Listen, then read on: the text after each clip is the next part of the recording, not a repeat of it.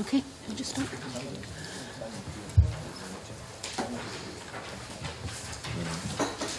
Okay. Well, good morning, everyone. Can I welcome you to the 14th meeting in 2014 of the Infrastructure and Capital Investment Committee. Can I remind everybody to switch off all their mobile devices as they do affect the broadcasting system? Um, don't think some people might be using their tablets to consult papers, however, so um, I hope that's okay. Um, agenda item one is a decision to take business in private. I seek the committee's agreement to take agenda item three, approach to the review of progress on the implementation of the 2012 homelessness commitment in private. Is that agreed? That is agreed. Thank you. Agenda item two is the Housing Scotland Bill. Today we're starting stage two consideration of the Housing Scotland Bill and we will go no further than the end of part three of the bill. I remind members that the Minister's officials are here in a strictly supportive capacity. They cannot speak during proceedings or be questioned by members. Everyone should have a copy of the bill as introduced, the first marshalled list of amendments and the first groupings of amendments. There will be one debate on each group of amendments. I will call the member who lodged the first amendment in that group to speak and move that amendment and speak to all other amendments in the group. I will then call the other members who have amendments in the group. Finally, the member who lodged the first amendment in that group will be asked to wind up the debate and press or withdraw their amendment. Members who have not lodged amendments in the group but who wish to speak should catch my attention in the usual way. If a member wishes to withdraw their amendment after it has been moved, I must check whether any, members, any member objects to it with be, being withdrawn. If any member objects, the committee immediately moves to a vote on the amendment. If any member does not want to move their amendment when called, they should say not moved. Any other MSP can move it, but I will not specifically invite other members to do so. If no one moves it, I will call the next amendment. the committee is required to indicate formally that it has considered and agreed each section and schedule of the bill, and so I will put a question on each section at the appropriate point. so we moved to the first marshal list of amendments for stage two. The first section one is abolition of the right to buy. I call Amendment 12 in the name of Alex Johnstone, grouped with Amendments 13, 42, 43, 44 and 45. Can I draw members' attention to the preemption and direct alternative information on the groupings? So, Alex, can I ask you to move Amendment 12 and speak to all amendments in the group? Thank you very much, Convener. Uh, I move Amendment 12 in my name. The right to buy has been one of the most significant social uh, drivers for social, positive social change in Scotland over the last 50 years. It has, over much of Scotland, created mixed tenure, sustainable communities that we can all be proud of. And the positive uh, aspects of the policy uh, are widespread, but include, uh, as has been suggested in a recent debate by myself, the opportunity for wealth to be acquired by some of the less well-off in society. Property ownership is something that we should all encourage, and the right to buy has had that role it has had its opponents, uh, and many housing organisations continue to this day to oppose right to buy. Uh, there, the presence of this section in the bill indicates a success in that campaign. Yet if we look at right to buy in recent years, it becomes fairly obvious that it was a policy which, uh, because of neglect by successive Scottish governments, was withering on the vine. The number of houses which uh, were sold to their tenants in the last full year for which we have figures uh, was only just over 1,500 and in fact the vast majority of these, nearly 1,200, were long-standing tenants who have the residual right to buy, uh, not the, the preserved right to buy or the modernised right to buy, sorry, that we, we uh, have had for the past 10 years or more.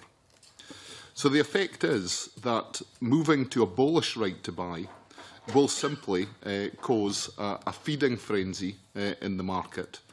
It will give an opportunity for all those who have the right today uh, but are about to lose it to make the decision whether they will buy their homes or not. Although it suits my political perspective to encourage people to buy their properties, this decision to include the abolition of right to buy in this housing bill can only be counterproductive uh, against the government's policy intention. And for that reason, I think it serves my purpose and that of the government if they do not move to abolish right to buy at this time. Regarding the other amendments in the group, uh, the main issue that they reflect is the suggestion that the three-year time limit brought in by the original bill should be reduced. It is important that a period of time is given for those who have the right to buy to decide whether they will exercise it. In fact, in all honesty, the reduction from three to two years proposed by the Minister, uh, I believe, will have no significant effect. But it is part of a trend and is alongside another amendment that proposes reducing it from three to one year, uh, which would give me significantly greater cause for concern. Uh, I will therefore, uh, on that principle, oppose these amendments uh, uh, when the opportunity arises. Regarding Amendment 42, uh, in my own name, which would have the effect of removing uh, that time limit altogether, uh, it is an amendment that stands uh, along with my amendments 12 and 13, and if 12 and 13 are not passed, I will not move 42. Thank you. Thank you very much. Minister, can I ask you to speak to Amendment 43 and other amendments in the group? okay, thank you, Convener. The Scottish Government's policy is to end right to buy a policy that the majority of the committee supports, and I'm grateful for that support. Ending right to buy will preserve valuable social housing, increase choice for tenants and those in waiting lists, and will help make social housing a vital part of vibrant mixed tenure communities that people want to live in. Again and again, stakeholders have told us that they support this policy. Tenants have told us of the damaging impact right to buy has had in the social housing sector Social landlords have told us how ending the right to buy will help them with their forward planning and stock management. Yet in the face of all this evidence, Mr Johnstone calls to, continues to call for this outdated and unpopular policy to continue.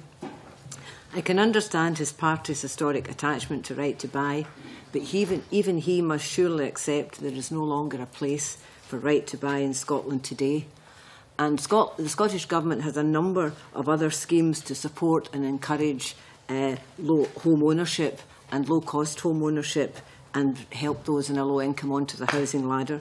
So there is no place for right to buy. And I would ask Mr Johnstone to withdraw Amendment 12 and not to move Amendments 42 and 45 when we reach that part of the bill.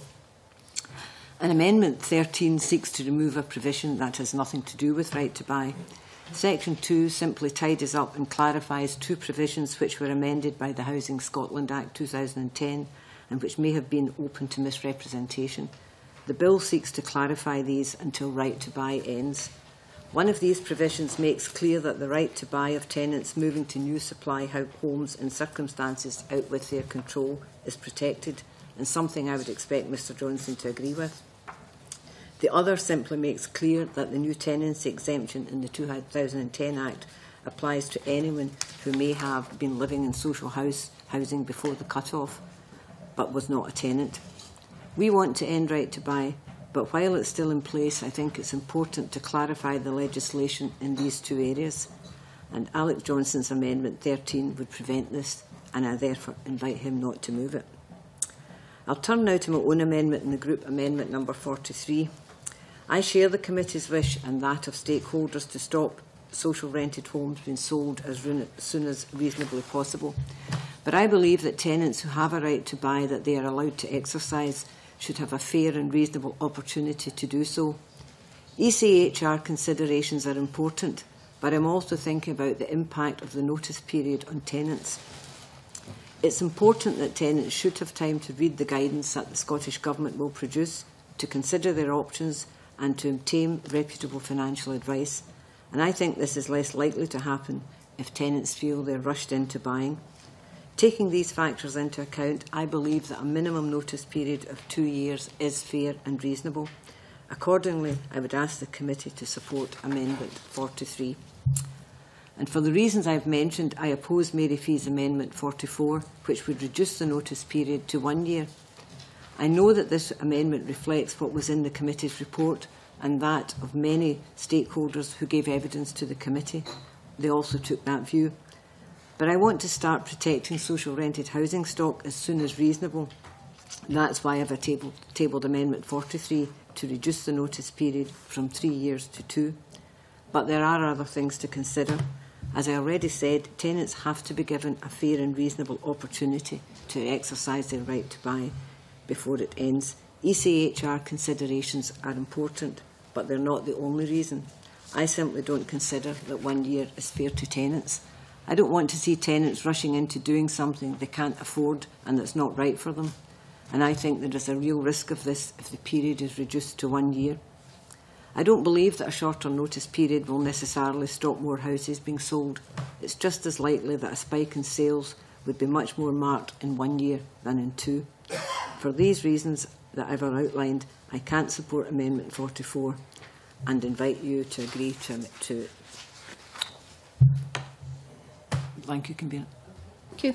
Mary Fee, can I ask you to speak to Amendment 44 and other amendments in the group? Um, thank you, um, Convener. Amendment 44 in my name would amend Section 85 and, the, um, and would abolish the right to buy um, in, in one year. And, and much of what I was going to say um, has already been said in, in relation to um, the abolition of the right to buy. The abolition of the right to buy, uh, its time has come. We, we need to remove um, the right to buy. And my amendment reducing the, the, the time frame to a year reflects the evidence we heard in committee and indeed it reflects the, the majority recommendation of the committee in its report. I do not, unfortunately, um, support amendments 12, 13, 42 or 45 in Alex Johnstone's um, name, which would retain this section and would retain right to buy. So I cannot um, support any of your amendments. Amendment 43 in the Minister's name, as she has just um, explained, would reduce the time period in the abolition of right to buy from three years to two. And while I have sympathy with, with what she said, um, people who have the right to buy have known for a considerable length of time that they have the right to buy.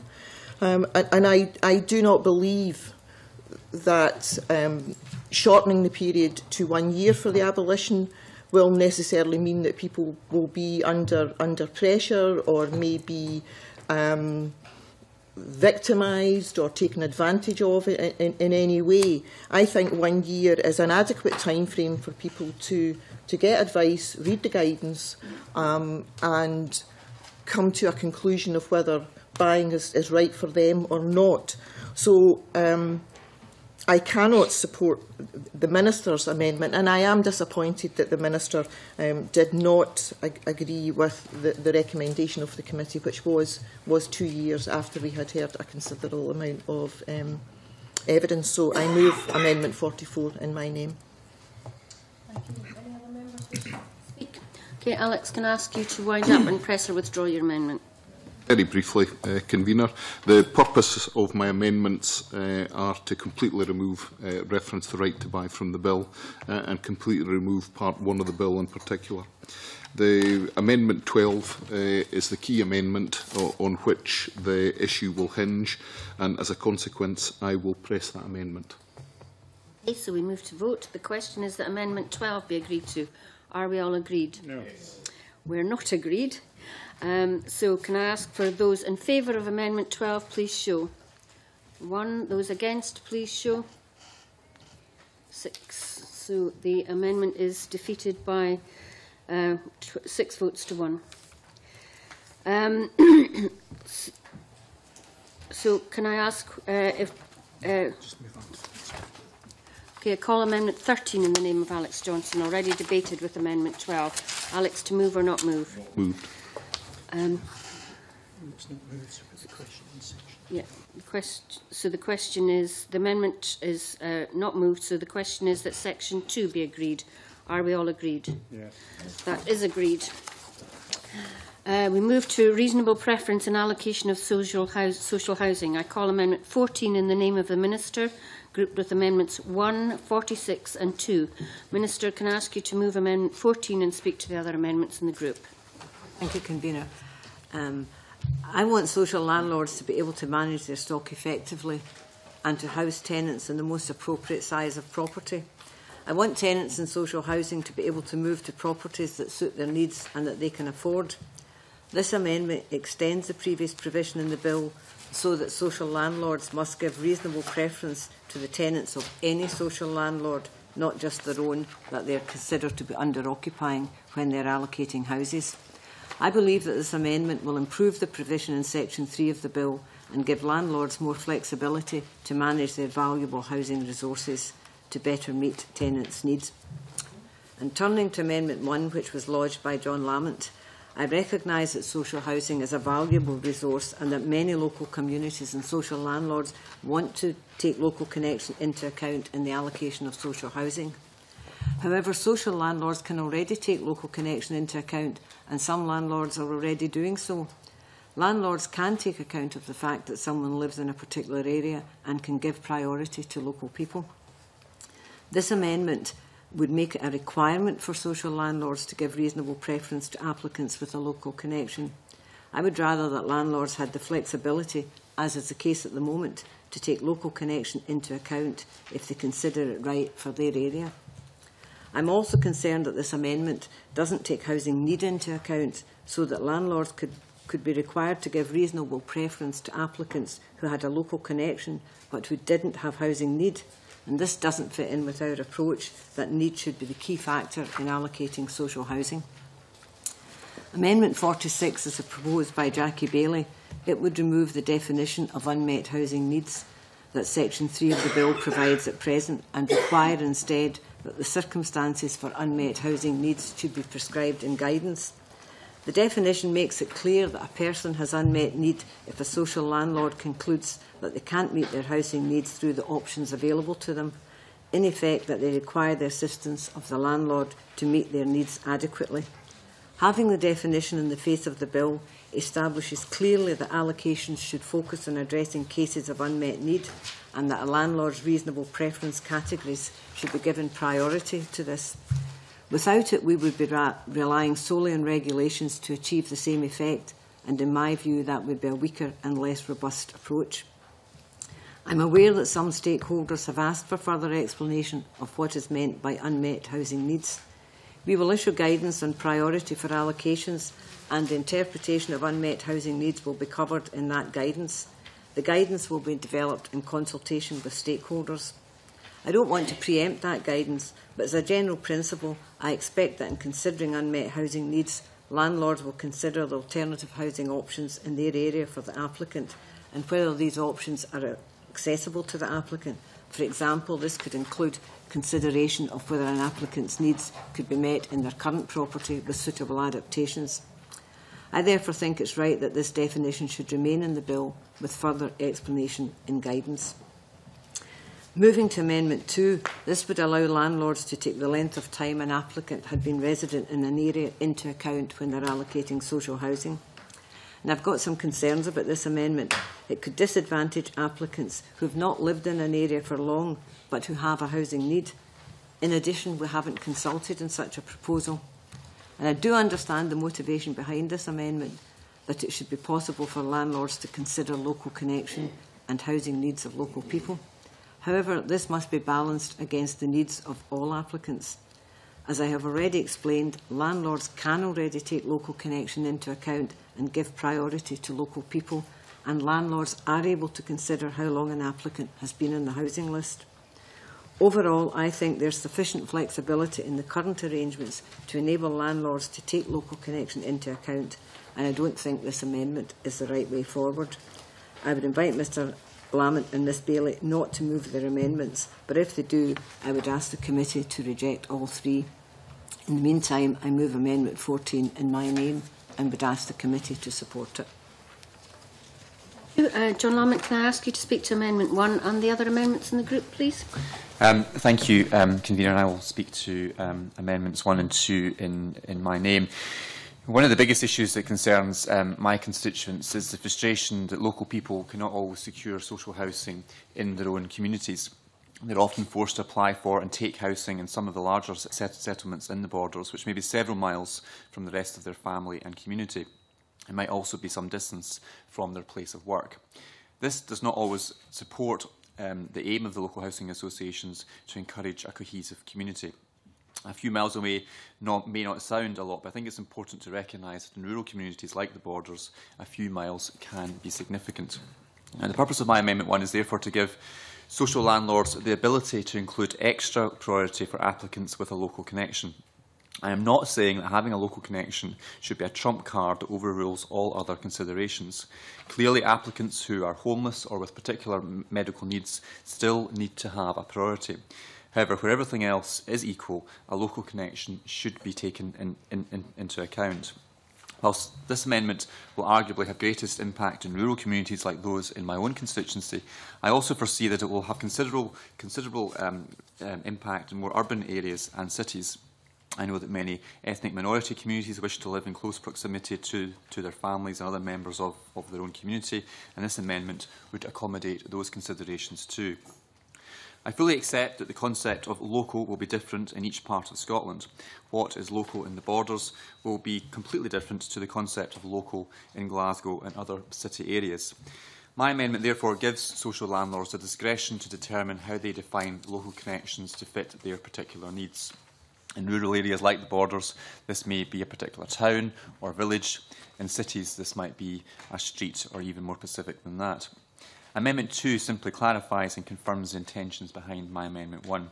Now, I know that all political parties have paid lip service to the notion of supporting um, a local housing allocations policy in the past. Indeed, the Labour Party manifesto in 2011 stated that they wanted to reform the allocation system to ensure that sufficient weight was given to meeting the needs of local people. I hope that the committee will find um, some time to be able to, to um, support these amendments, and I move the amendments in my name. Thank you. Thank you. Um, Jackie Baillie, can I ask you to move Amendment 46 and the other amendments in the group? Thank you very much, and can I welcome the opportunity to speak at the committee and move Amendment 46, which is supported by Homeless Action Scotland, Shelter Scotland, the Legal Services Agency, Scottish Churches, Housing Action and Crisis. Um, members know that I'm very keen on always getting principles on the face of the bill, but I think there may be an issue here, um, which I'll come on to explain. What this amendment seeks to do is place a requirement on ministers to include in guidance the definition of unmet housing needs um, and therefore removing that definition from the face of the bill. Um, I accept much of what the Minister has said, and I'll come on to deal with that in a second, but let me set out why we came forward with this amendment. Um, and it's a fear that, despite best intentions, that that section actually undermines the role of social housing, and I know that won't be the Minister's intention at all. Um, I recognise and welcome housing options and the approach that's being taken, um, but I do think we need to just reflect to make sure we've got this absolutely right. Um, subsection 1ZB defines unmet housing needs as those who are, which are not capable of being met by housing op options which are available. Um, it almost seems to suggest that social housing should be considered as a last resort once all other options are exhausted, um, and that the role of social housing is somehow residual, um, welfare housing. That, as the Minister will know, is an approach that's increasingly being taken in England, um, not something that we would want to see in Scotland, which has a strong tradition of considering social housing um, as having a broad role in meeting housing needs, and I'm sure she would agree with me on that one. Um, the second concern is that that whole issue of, of reasonable preference appears to rest with the decision of each social landlord um, as to whether someone's housing needs could have been met elsewhere. Um, it's slightly vague, it's, it's definitely subjective about how the assessment would be made, at what point it would be made, um, you know, how would a social landlord be held to account if it was felt they weren't giving appropriate priority to allocating properties to persons in, in housing need. So there is some genuine concern about what we regard as, as probably good intentions. So um, unmet housing needs defined in guidance would remove that burden on social landlords from taking subjective decisions and get consistency or a degree of it across the country, which I'm sure the Minister would, would agree would be desirable, um, protects the role of social housing as one viable option, um, and also goes on to link allocation policies far more to strategic housing priorities. Having said all of that, I very much welcome the Minister's comments. like her. I think we're, we're keen to keep a balance and get that absolutely right. Um, I would be content to withdraw, subject to a commitment to continuing dialogue with the Minister um, before stage three to ensure that the guidance truly does reflect the concerns. Failing that, I can, of course, bring back an amendment at stage three. Thank you, Convener. Thank you. Alex? Thank you very much, Convener. Uh, I take the opportunity to speak in favour of amendment, Amendments 1 and 2. Uh, John Lamont has described the experience that he has in the, in the Borders area, and other areas of Scotland are uh, affected by similar pressures, sometimes manifesting themselves in slightly different forms. My experience in the northeast that my postbag often contains uh, communications from people who have found themselves allocated housing in the neighbouring town, which uh, may be 10 miles away, maybe in the catchment area for a different secondary school, uh, and with poor public transport, that often threatens the opportunity for individuals to maintain employment, uh, which is a, a particular difficulty. Another very specific difficulty, uh, which has been brought to my attention on many occasions, uh, is the housing pressures which exist within uh, uh, villages within the national park area, for example. I've had a number of examples of people from Ballater uh, who have been born and brought up in the community there and find the housing pressure uh, so great that it is impossible to be allocated social housing uh, in that area or anywhere near it. And as a result, uh, cohesive communities can begin to break down as young people are driven out of an area because of the inability to provide housing locally. So I believe that the subject that uh, John Lamont has raised here uh, one that needs to be addressed in greater detail, and I believe the amendments he has brought forward would be a significant step in allowing us to take that consideration into account. The Minister, can ask you to wind up, please? Thank you. Um, in, in the case of um, Amendment 1 uh, John, and John Lamont's amendments, I mean, I absolutely am not dismissing them out of hand. We are very sympathetic, um, but do believe landlords can already take local connection into account when allocating housing. Um, and also we're concerned that the amendment doesn't require the applicant to have unmet, unmet housing needs. And that cuts across the clear intention that its housing need should be the priority when allocating uh, social housing. The existing Scottish Government guidance sets out how a landlord can take residency, residency and local connection into housing allocations, and we will revise that guidance to clarify that further. In terms of uh, Jackie Baillie's amendment, um, what I would say is that having the definition in the face of the bill, in my view, establishes clearly that landlords should focus on, on cases of unmet need. I, absolutely take the, the, the issues that, that Jackie Baillie raised in terms of um, ensuring that that is not abused and we're not looking at welfare housing and we're certainly not looking at what is happening in other parts of the UK in terms of social housing. The, having it in the face of the bill should give landlords some flexibility because I do think landlords require to have some flexibility in who should have priority for housing. They should continue to focus on housing need to target the reasonable preference and those are unable to access alternative housing solutions and to enable tenants to downsize. But I will, uh, I'm willing to, to work with Jackie Baillie before stage three to, to look at the guidance to ensure that and hope that she'll be satisfied that what we put in the guidance will cover this uh, and I'm willing to, to work with her on that basis. Thank you. Okay, the question is that Amendment 14 be agreed to. Are we all agreed? Yes. That is agreed. Uh, I call Amendment 1 in the name of John Lamont, already debated with Amendment 14. John, to move or not move? Okay, so the question is that Amendment 1 be agreed to. Are we all agreed? Yes. We are not agreed. We move to a vote. Those in favour of Amendment 1, please show. One vote. Those against, please show. Six. The amendment is not agreed. I call Amendment 46 in the name of Jackie Baillie, already debated with Amendment 14. Jackie, to move or not move? Happy to withdraw in light of the Minister's comments. Okay. So the right. So I call Amendment 2 in the name of John Lamont, already debated with Amendment 14. John, to move or not move? Let's. The question is that Amendment 2 be agreed to. Are we all agreed? No. We are not agreed. We move to a vote. Those in favour of Amendment 2, please show. One vote. Those against, please show. Six votes. That amendment is not agreed to. The question then is that section 3 be agreed to. Are we all agreed? Yes. That is agreed. Move to section 4, guidance published by Scottish ministers on social housing matters. I call Amendment 15 in the name of the Minister, grouped with Amendments 17, 19 and 28. Minister, can I ask you to move Amendment 15 and speak to the other amendments in the group? Okay, thank you, Convener. I'll begin by speaking to an aspect of all four amendments.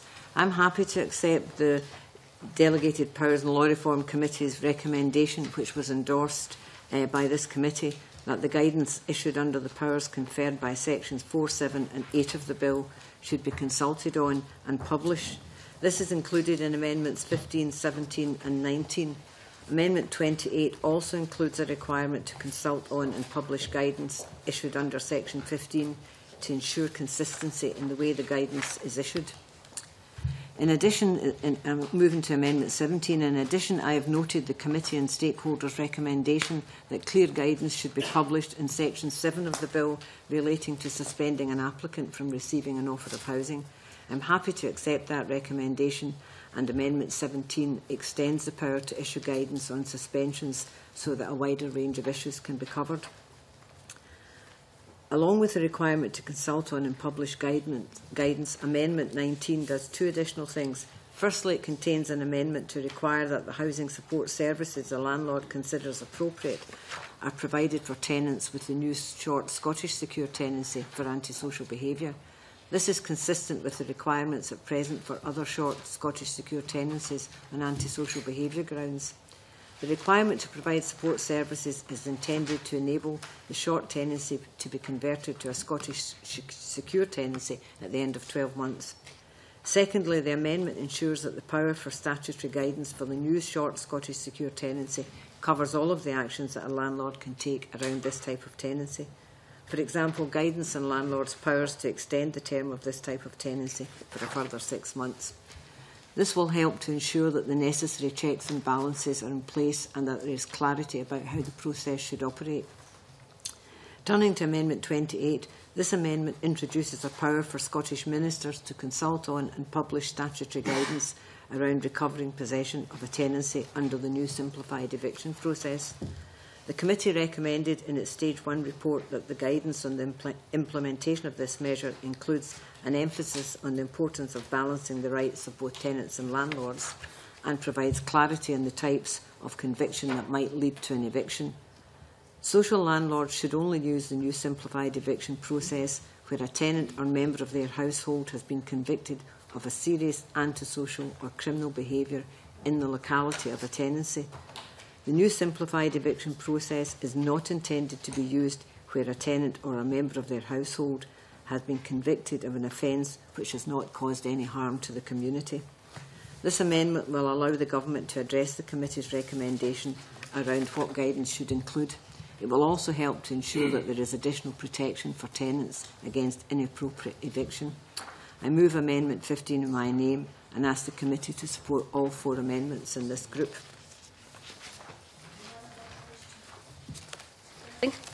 Okay, Minister, you don't want to say anything else. So the question is that Amendment 15 be agreed to. Are we all agreed? agreed? That is agreed. Thank you. The question is then that Section 4 be agreed to. Are we all agreed? That is agreed.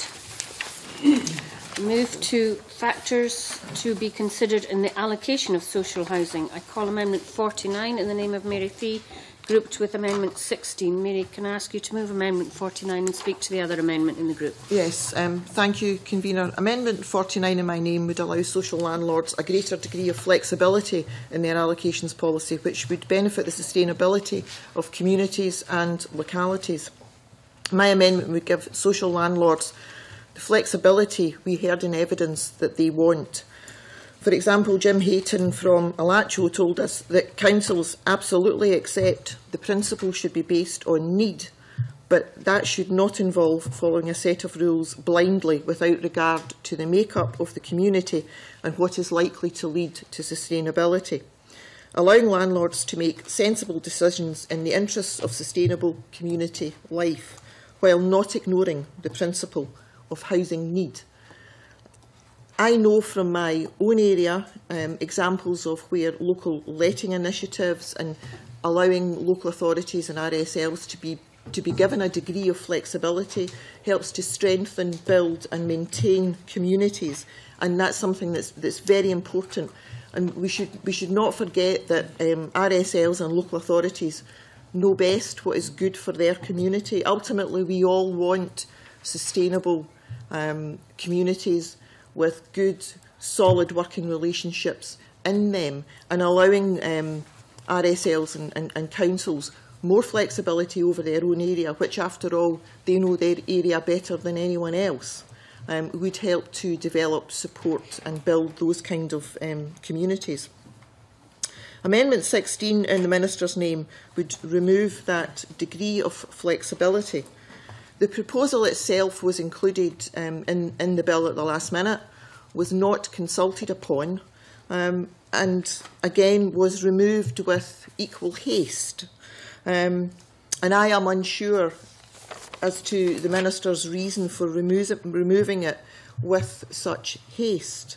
Um, I believe that there is merit in a proposal to allow flexibility in allocation.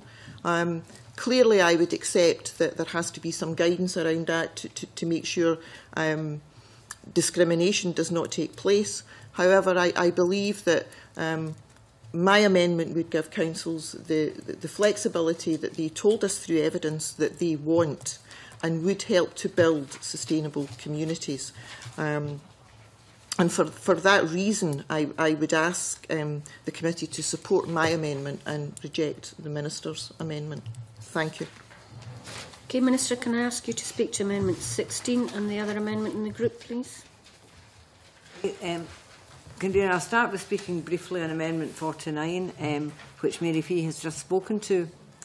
I recognise uh, very much that landlords have a difficult job managing allocations, and I think all of us as MSPs are only too aware of that. As we all know, problems between neighbours can cause distress for the individuals concerned, as well as challenges and costs for landlords. However, I'm not convinced that this amendment is the way forward to address these issues. Landlords already have flexibility within legislation, and Mary Fee has already talked about that, to make sensitive lets. And I'm not clear what this amendment would add to that. Landlords can take account of the overall circumstances, including an individual's housing needs and the housing options that are available when making allocations. There will be revised, revised guidance on allocations, and this will include advice on making sensitive lettings. In addition, the bill is already bringing forward additional measures to, allow, to help landlords tackle antisocial behaviour. I understand, I well understand how important it is to make allocations that are appropriate and sustainable. It's in the interest of the tenant being housed and also of the neighbours and wider community. However, I think the measures we, have, we already have, along with the antisocial behaviour provisions in the bill, will achieve the same effect, and I would ask Mary Fee not to press the amendment but if she does, I would ask the committee to reject it. I'll now move on to, to Amendment 16, which is a government amendment. Uh, and this amendment removes Section 5 from the bill, and Section 5 would have enabled landlords to take age into account in allocation, allocating social houses. And I would say this was not done or rushed in any way. I know that Section 5 wasn't in, in the bill initially and wasn't consulted on, and I know that it's provoked, provoked a strong reaction and landlords are understandably very keen to have flexibility to manage their stock effectively. Others, such as Scotland's Commissioner for Children and Young People, are concerned about the potential for discrimination against young people. And in the past few months, I've met with stakeholders, I've listened closely to all the points that's been made, and as I indicated my, to the committee in my letter of 2nd of May, I've weighed up all the arguments and have decided to bring forward Amendment 5 to uh, this amendment to remove Section 5 from the bill. And it wasn't an easy decision. And I absolutely recognise that landlords have a challenging task and there's difficult decisions to be made in allocating social housing. However, I think that this decision is the right one for the following reasons. Firstly, age is, is not of itself an indicator of need and our housing allocations policy is based on making allocations to those most in need. And I want to be clear that I don't think landlords would seek to discriminate against young people or any other group but I, but I am concerned about the potential for certain vulnerable groups to end up being disadvantaged in the allocation of housing. Secondly, landlords have given me examples of where they would like to take age into account in many cases to prevent difficulties between neighbours, for example, restricting allocations to a certain age group where there's a block of predominantly older people.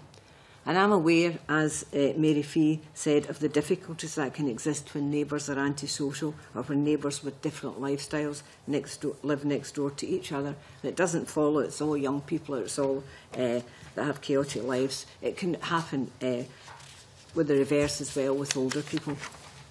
But where there is potential for classes of lifestyle, clashes of lifestyle, there is already scope within the legal framework to make sensitive lets and some la landlords are already making effective use of sensitive lets.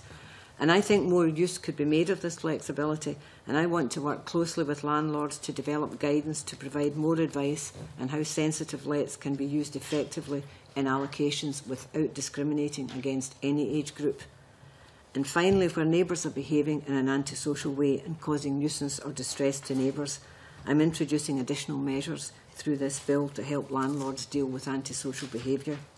For these reasons, I think it's right that age should not be taken into account in the allocation of social houses.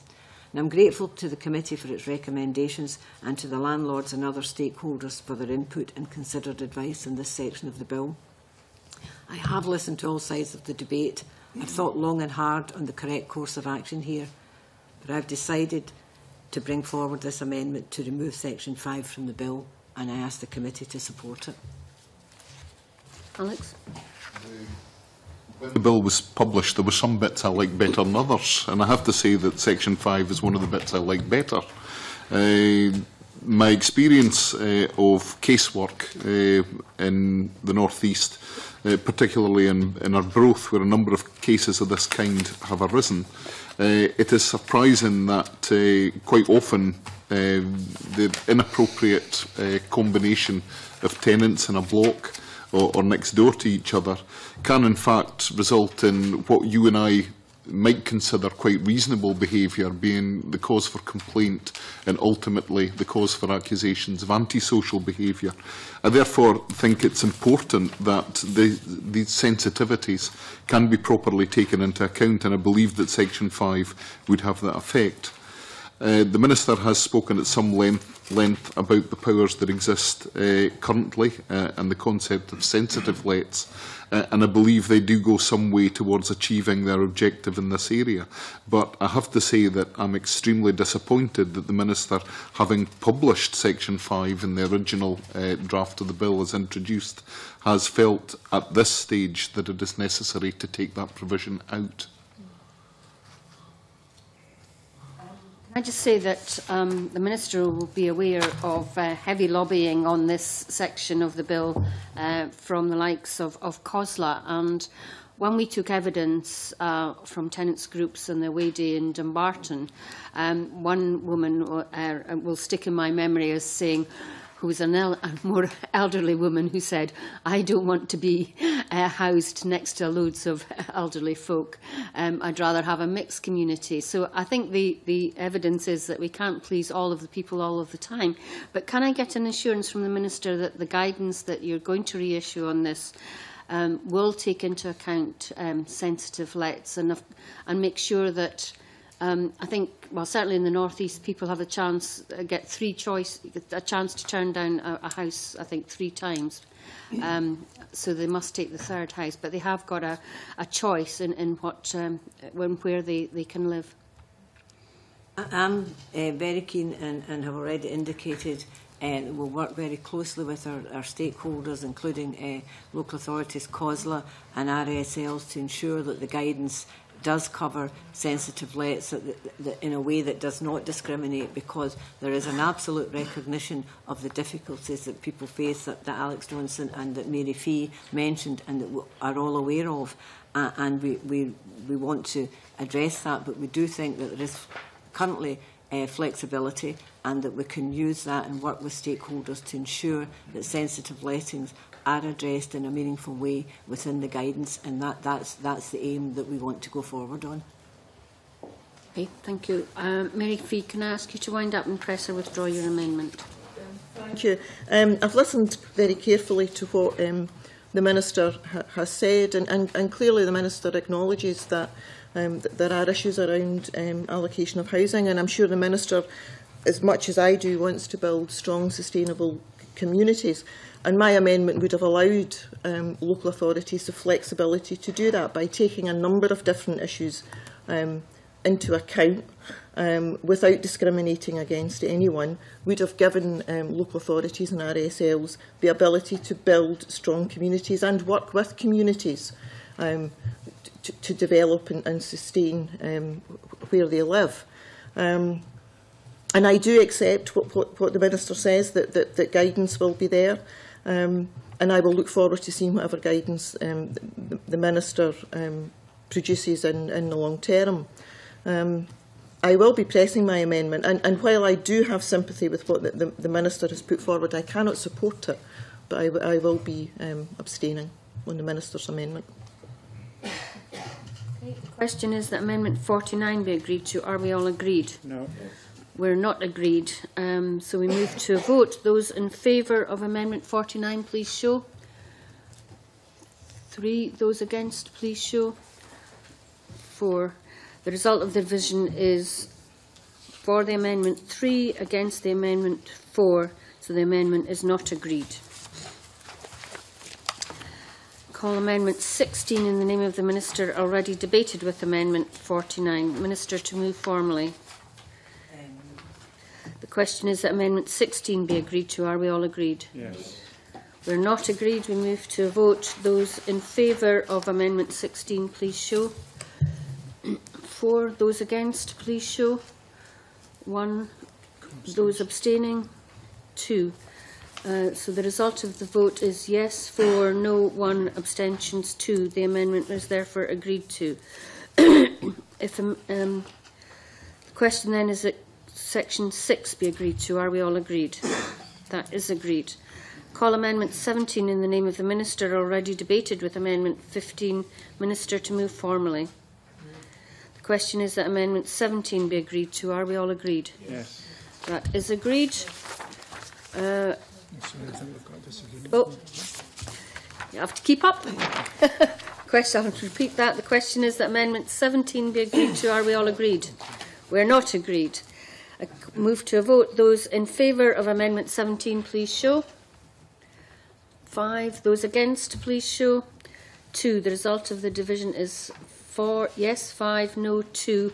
The amendment there is therefore agreed to. I call amendments 18 in the name of the Minister in a group of its own. This is about minimum period for application to remain in force. Minister, can I ask you to move and speak to Amendment 18? I want landlords to have the flexibility to manage allocations effectively, and this may include suspending an applicant or tenant from receiving an offer of housing for a period of time in certain circumstances.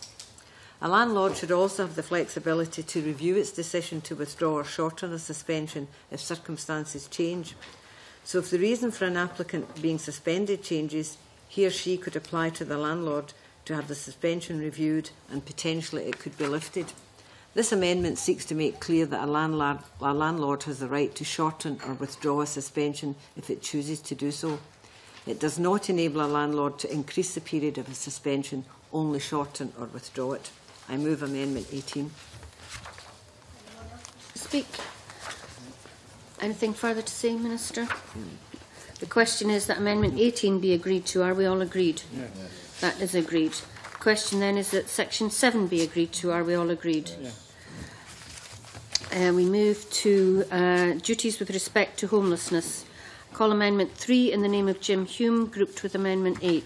Jim, can I ask you to move Amendment 3 and speak to the other amendment in the group? Th- Thank you, Convener. I welcome the opportunity to speak in favour of my amendment at this uh, committee this morning. The aim of this amendment is to ensure that all statutory homeless referrals from local authorities to registered social landlords are dealt with using a Section 5 referral. Under the 2001 Housing Act, I'm aware that there are some social landlords out there who are not in favour of this amendment and prefer the option to utilise informal nominations hmm. when it comes to homelessness. However, not only does the use of a Section 5 referral, referral, I believe, ensure a consistent and transparent approach to housing homeless households, it also affords these households, who are among our most vulnerable members of society, with certain safeguards. For example, if your application is subject to Section 5 referral, then you have the right to a response from the registered social landlord within a reasonable period, and that a request will not be declined without a good reason, and a good reason being that there is a, lack of stock.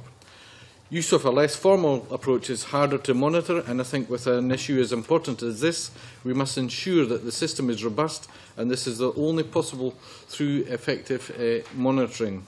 This would be made easier through mandatory use of Section 5 referrals. I want to move from a situation where only 65% of homeless households are referred under Section 5 and afforded all the relevant safeguards and make this 100% of homeless households. I would refer the committee to the Scottish Housing Regulator's uh, 2009 report on homelessness, which believed that councils should work more effectively with RSLs and stated that there were, as I quote, some specific areas where current practices could be improved and that this may mean setting aside their current reluctance to use Section 5 powers. We have an opportunity this morning, I believe, to iron out inconsistent practice amongst all lo local authorities when it comes to referring homeless households to registered social landlords. Ensure that those families enjoy the safeguards they, they deserve and that the system is more transparent and uh, consistent. It's not just I that would appreciate uh, committee members' support for my, my amendment, but also the many house homeless people who are not given the safeguards of a Section 5 referral and help them and, the, and all of us in a long way to fight homeless, homelessness wherever possible. I move the amendment in my name. Very much. Jim Eadie, can I ask you to speak to Amendment 8 and the other amendments in the, group, the other amendment in the group, please? uh, thank you, Convener. Um, I'm pleased to um, have the opportunity to introduce and speak to Amendment 8, which I have tabled as a probing amendment. And I'm also pleased to have the support of my colleague, uh, Alex Rowley, which underlines uh, that this is an issue with cross-party support. This amendment seeks to ensure homeless children and pregnant women are not placed in temporary housing that is of a very poor physical standard or serious disrepair. The purpose of this amendment is to give households with pregnant women and children the right to challenge being placed in homeless temporary accommodation which is of a very poor standard. The majority of temporary accommodation is of a good standard and is an important positive step away from what would otherwise be a crisis of homelessness for those people and families affected. It is worth noting that this amendment will only affect a fairly small percentage of vulnerable households and will not have a big impact on local authorities. I place on record my appreciation to Shelter Scotland and Debbie King and Fiona King for their work in highlighting this issue. This measure would be a key safeguard for those families in very poor quality temporary accommodation where it is unhealthy and dangerous for children to be living. While this amendment will not impact on the majority of families in good quality temporary accommodation, for those who find themselves in damp, derelict and substandard housing, this will be a vital lifeline. Families in temporary accommodation are already in a vulnerable situation. Living in temporary accommodation in poor physical repair is an additional burden and has a serious impact on their health and well-being and their ability to cope. Shelter Scotland have also asked the Government to commit to amending the 2004 Unsuitable Accommodation Order as soon as the bill receives royal assent, as that will allow households to actually challenge local authorities about temporary accommodation which is in poor physical repair. Shelter Scotland have argued strongly in favour of my amendment and believe it is necessary as they have acted on behalf of families in temporary accommodation which is in a terrible state of repair. They strongly contend that they were not able to challenge the local authority using the current legislation. This specific issue is not covered by existing legislation and although the Code of Guidance defines good practice around temporary accommodation. This is not legislative and currently vulnerable families have no recourse to challenge the conditions they face. My amendment will protect the most vulnerable households in temporary accommodation, pregnant women and children, and it will only affect a very small but important number of households.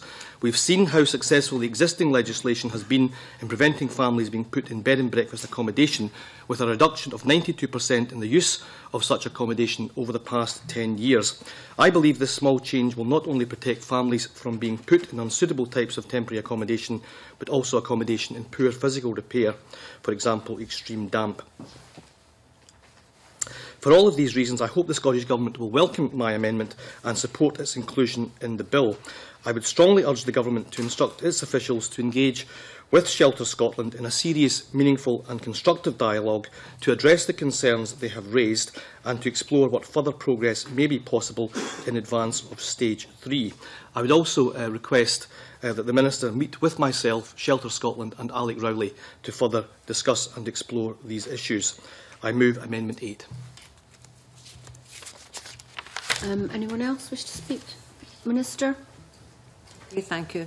Um, amendment 3, in the name of Jim Hume, would place a duty on, local, on a local authority to use Section 5 of the 2001 Act every time it asks a registered social landlord to rehouse a homeless household. And I don't believe that this is necessary or appropriate. Local authorities already have the power to use Section 5 to request registered social landlords to rehouse a, a homeless household. They can choose to use this power if they decide that it's necessary or if they choose to do so. Local authorities and RSLs have indicated that they see no need to have Section 5 made a mandatory route for rehousing homeless households. I therefore have concerns that if this amendment is passed, it could actually damage, damage the positive working relationship that local authorities and RSLs have developed, and that in turn it could have an impact on the outcomes for homeless people. I don't consider, consider that there is evidence to justify the change proposed by the amendment. It's not supported by local authorities, nor is it supported by RSLs, and I would therefore invite Mr Hume to withdraw Amendment 3 and ask the com committee not to support it. Uh, turning to Amendment 8 uh, in the name of Jim Eadie. I don't consider that it's necessary to amend the Housing Scotland Act 1987 for unsuitable accommodation orders.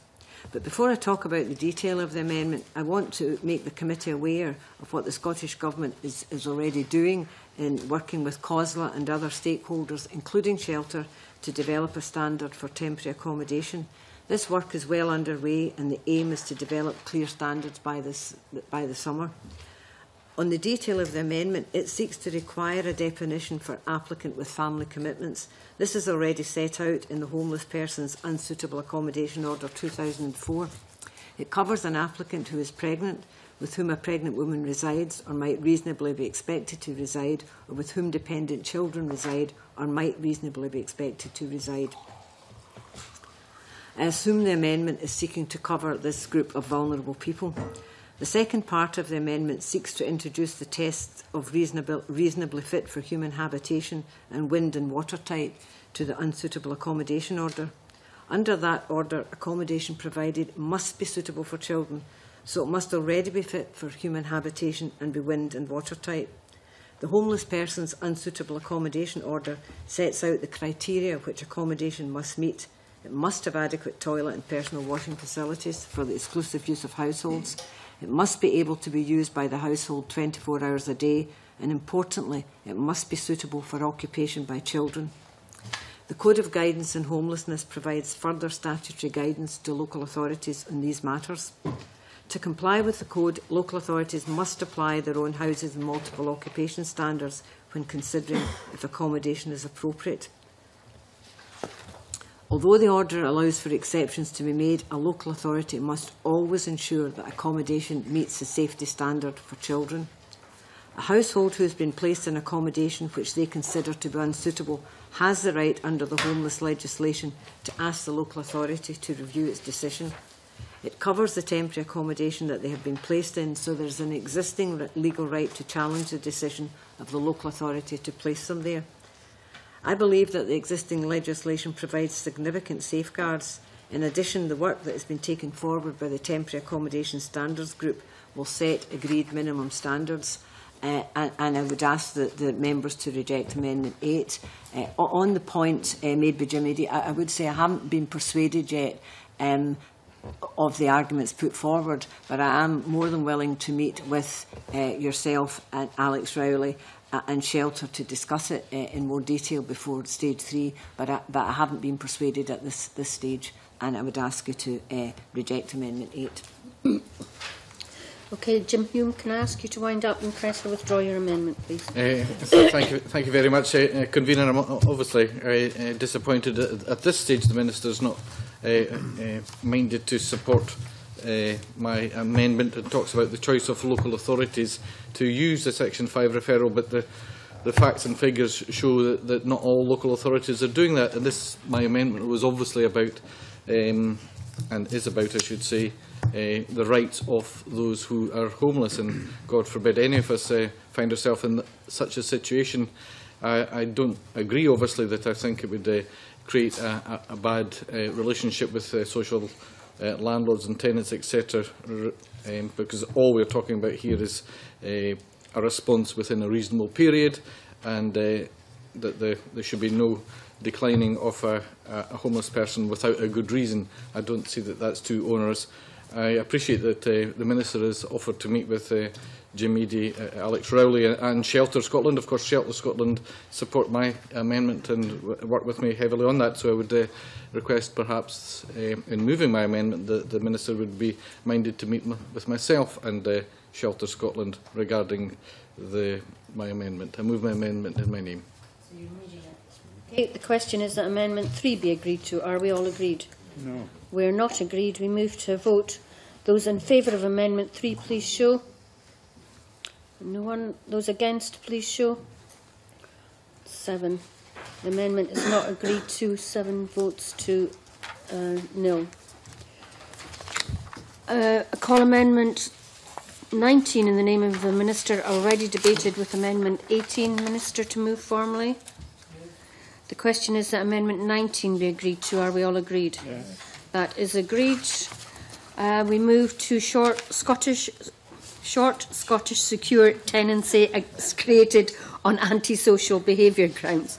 I call Amendment 50 in the name of Mary Fee, grouped with Amendments 20 to 24 and 39 and 40.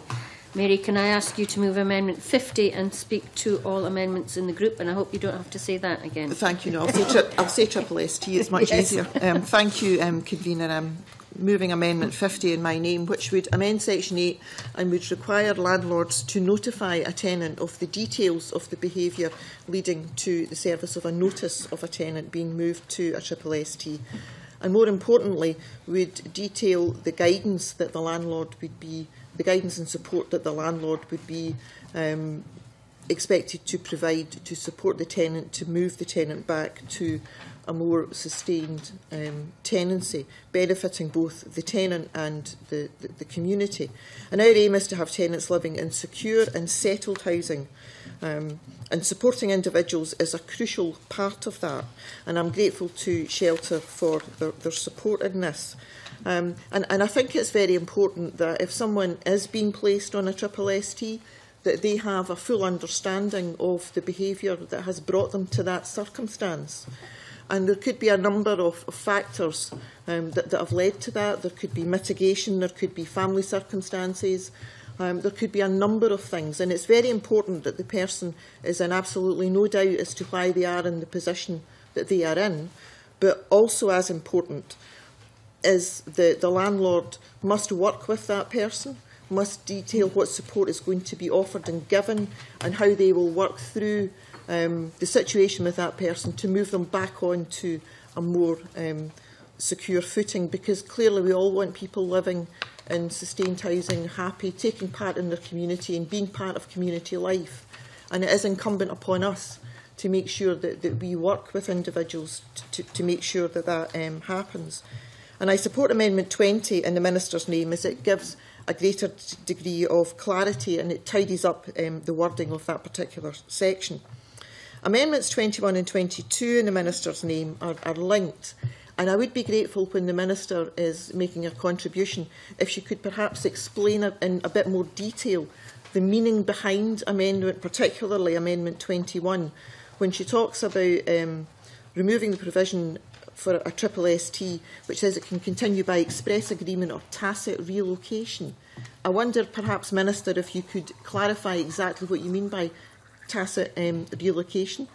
Um, amendment 23, again in the Minister's name, is a, a tidying up amendment, clarifying um, wording, and I'm happy to um, accept that.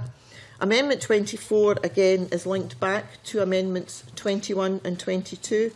So perhaps if you could give me a bit more clarity around the thinking behind those three particular um, amendments, I, I would appreciate um, that.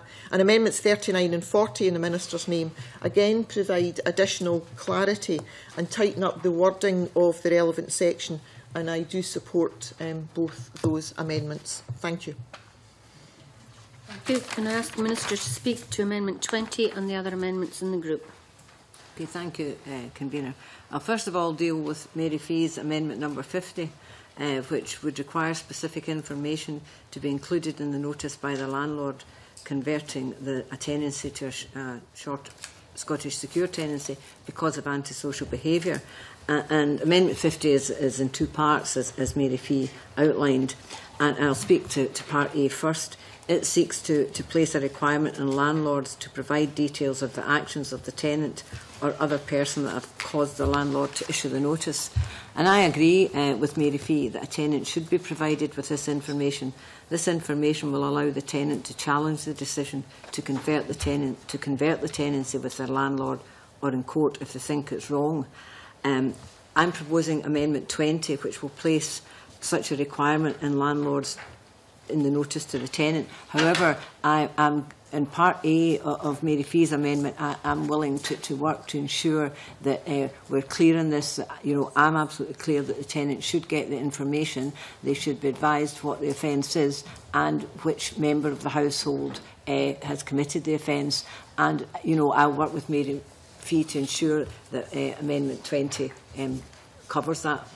And Part B of the amendment to, to put in place and place an additional requirement in landlords to include details of the support the landlord proposes to provide to the tenant or other person in order them to sustain as tenancy. We all agree that we want tenants to sustain their tenancy. But landlords have flexibility in legislation to provide or ensure the provision of such housing support services as they consider appropriate to en enable the tenancy to convert to a short Scottish secure tenancy and there are good reasons for this flexibility. For example, as, often the, as is often the case, some tenants won't engage with the landlords to allow them to assess what, support, what the support needs are. In addition, some, in some cases, it's not the landlord themselves that will be providing or arranging the support. Support the landlord considers appropriate may already be in place from another organisation, such as an addiction centre or a money advice centre or whatever. A tenant can also choose to refuse support or support may not be what is needed to change the behaviour uh, of someone who, for example, used to just behave and have a wild party at the weekend but has recognised that that's not appropriate and has agreed already to take action on that. So I don't want to place an undue burden on landlords to provide support when it's not what is needed or if it's already being provided by another organisation. And I absolutely understand the, the purpose uh, behind uh, Mary Fee's amendment, but I believe that landlords need to continue to have flexibility around providing housing support services, services in antisocial behaviour cases. And for these reasons, I would invite uh, Mary Fee to withdraw Amendment 50. I'll turn now to my own amendments in the group, which are just technical amendments to ensure the better operation of the bills proposal. As I mentioned, Amendment 20 deals with the notice issued to a tenant uh, converting a tenancy to a short Scottish secure tenancy in antisocial behaviours grounds. And uh, as I indicated, uh, I want to make sure that we cover some of the areas that, that Mary Fee mentioned. And this change will ensure the tenant has enough information to challenge the decision if they wish to do so. Amendments number 21, 22, 23, 24, 39 and 40 are technical amendments dealing with operational matters. The amendments provide further clarity in the bill on the rules which apply specifically to short Scottish secure tenancies created on antisocial behaviour grounds. Amendments 21, 22 and 23 ensure that the 2001 Act is clear about the term of the short Scottish secure tenancy for antisocial behaviour. The intention is that these tenancies will convert back to a secure tenancy at the end of the 12-month period as long as the landlord hasn't taken action to either extend the tenancy for a further six months or recover possession of the tenancy in court. Uh, Mary Fee mentioned ta tacit uh, relocation. It's when a lease just continues because neither a landlord or tenant has done anything to stop it continuing uh, until it reaches the date it expires. Uh, and, and these are purely technical amendments. There are no changes uh, with these amendments. Amendment 24 clarifies the circumstances under the 2001 Act where a court must make an order for recovery of possession of a tenancy in cases where the new short Scottish secure tenancy for antisocial behaviour applies. This technical amendment will ensure, as intended, that the court must make an order for recovery of possession at the end of 12 months or 18 months if the tenancy has been extended and the landlord has properly followed the process to end the short Scottish secure tenancy. Amendment 39 and 40, 40, and 40 uh, these add the new short Scottish secure tenancy for antisocial behaviour to the type of accommodation that are considered to be permanent accommodation for the purposes of discharging a social landlord's homelessness duty. And this will ensure consistency of approach with what happens currently where a short Scottish secure tenancy has been granted because of an ASBO or where there has been an order for recovery of possession of a tenancy for antisocial behaviour in the last three years. And this is just about consistency. So in conclusion, I invite uh, Mary Fee to withdraw Amendment 50 and the committee to support amendments, the technical amendments 21, 22, 23, 24, 39 and 40 in this group. Anyone else wish to contribute? Okay, Mary, can I ask you to wind up and press or withdraw your amendment, please? Um, thank you, um, Convener. I'm grateful to the Minister for the explanation she's given around the amendments that I queried um, it's certainly helped to um, clarify in my mind the, the thinking and intent um, behind them. In relation to my own amendment, Amendment 50, I am grateful to the Minister for agreeing to work with, with me um, on the, the first section of, of my um, amendment. Um, and I'll, I'll certainly look forward to working with the Minister to, to, to make sure that um, we find a, a, a suitable way of working through that, that first part um, of the amendment. Um, I am less happy. The Minister does not seem to agree with me that landlords have an obligation to explain or detail the support that will be available to people that are on a triple ST. And that support could range from simply signposting to, to more um, detailed um, intervention.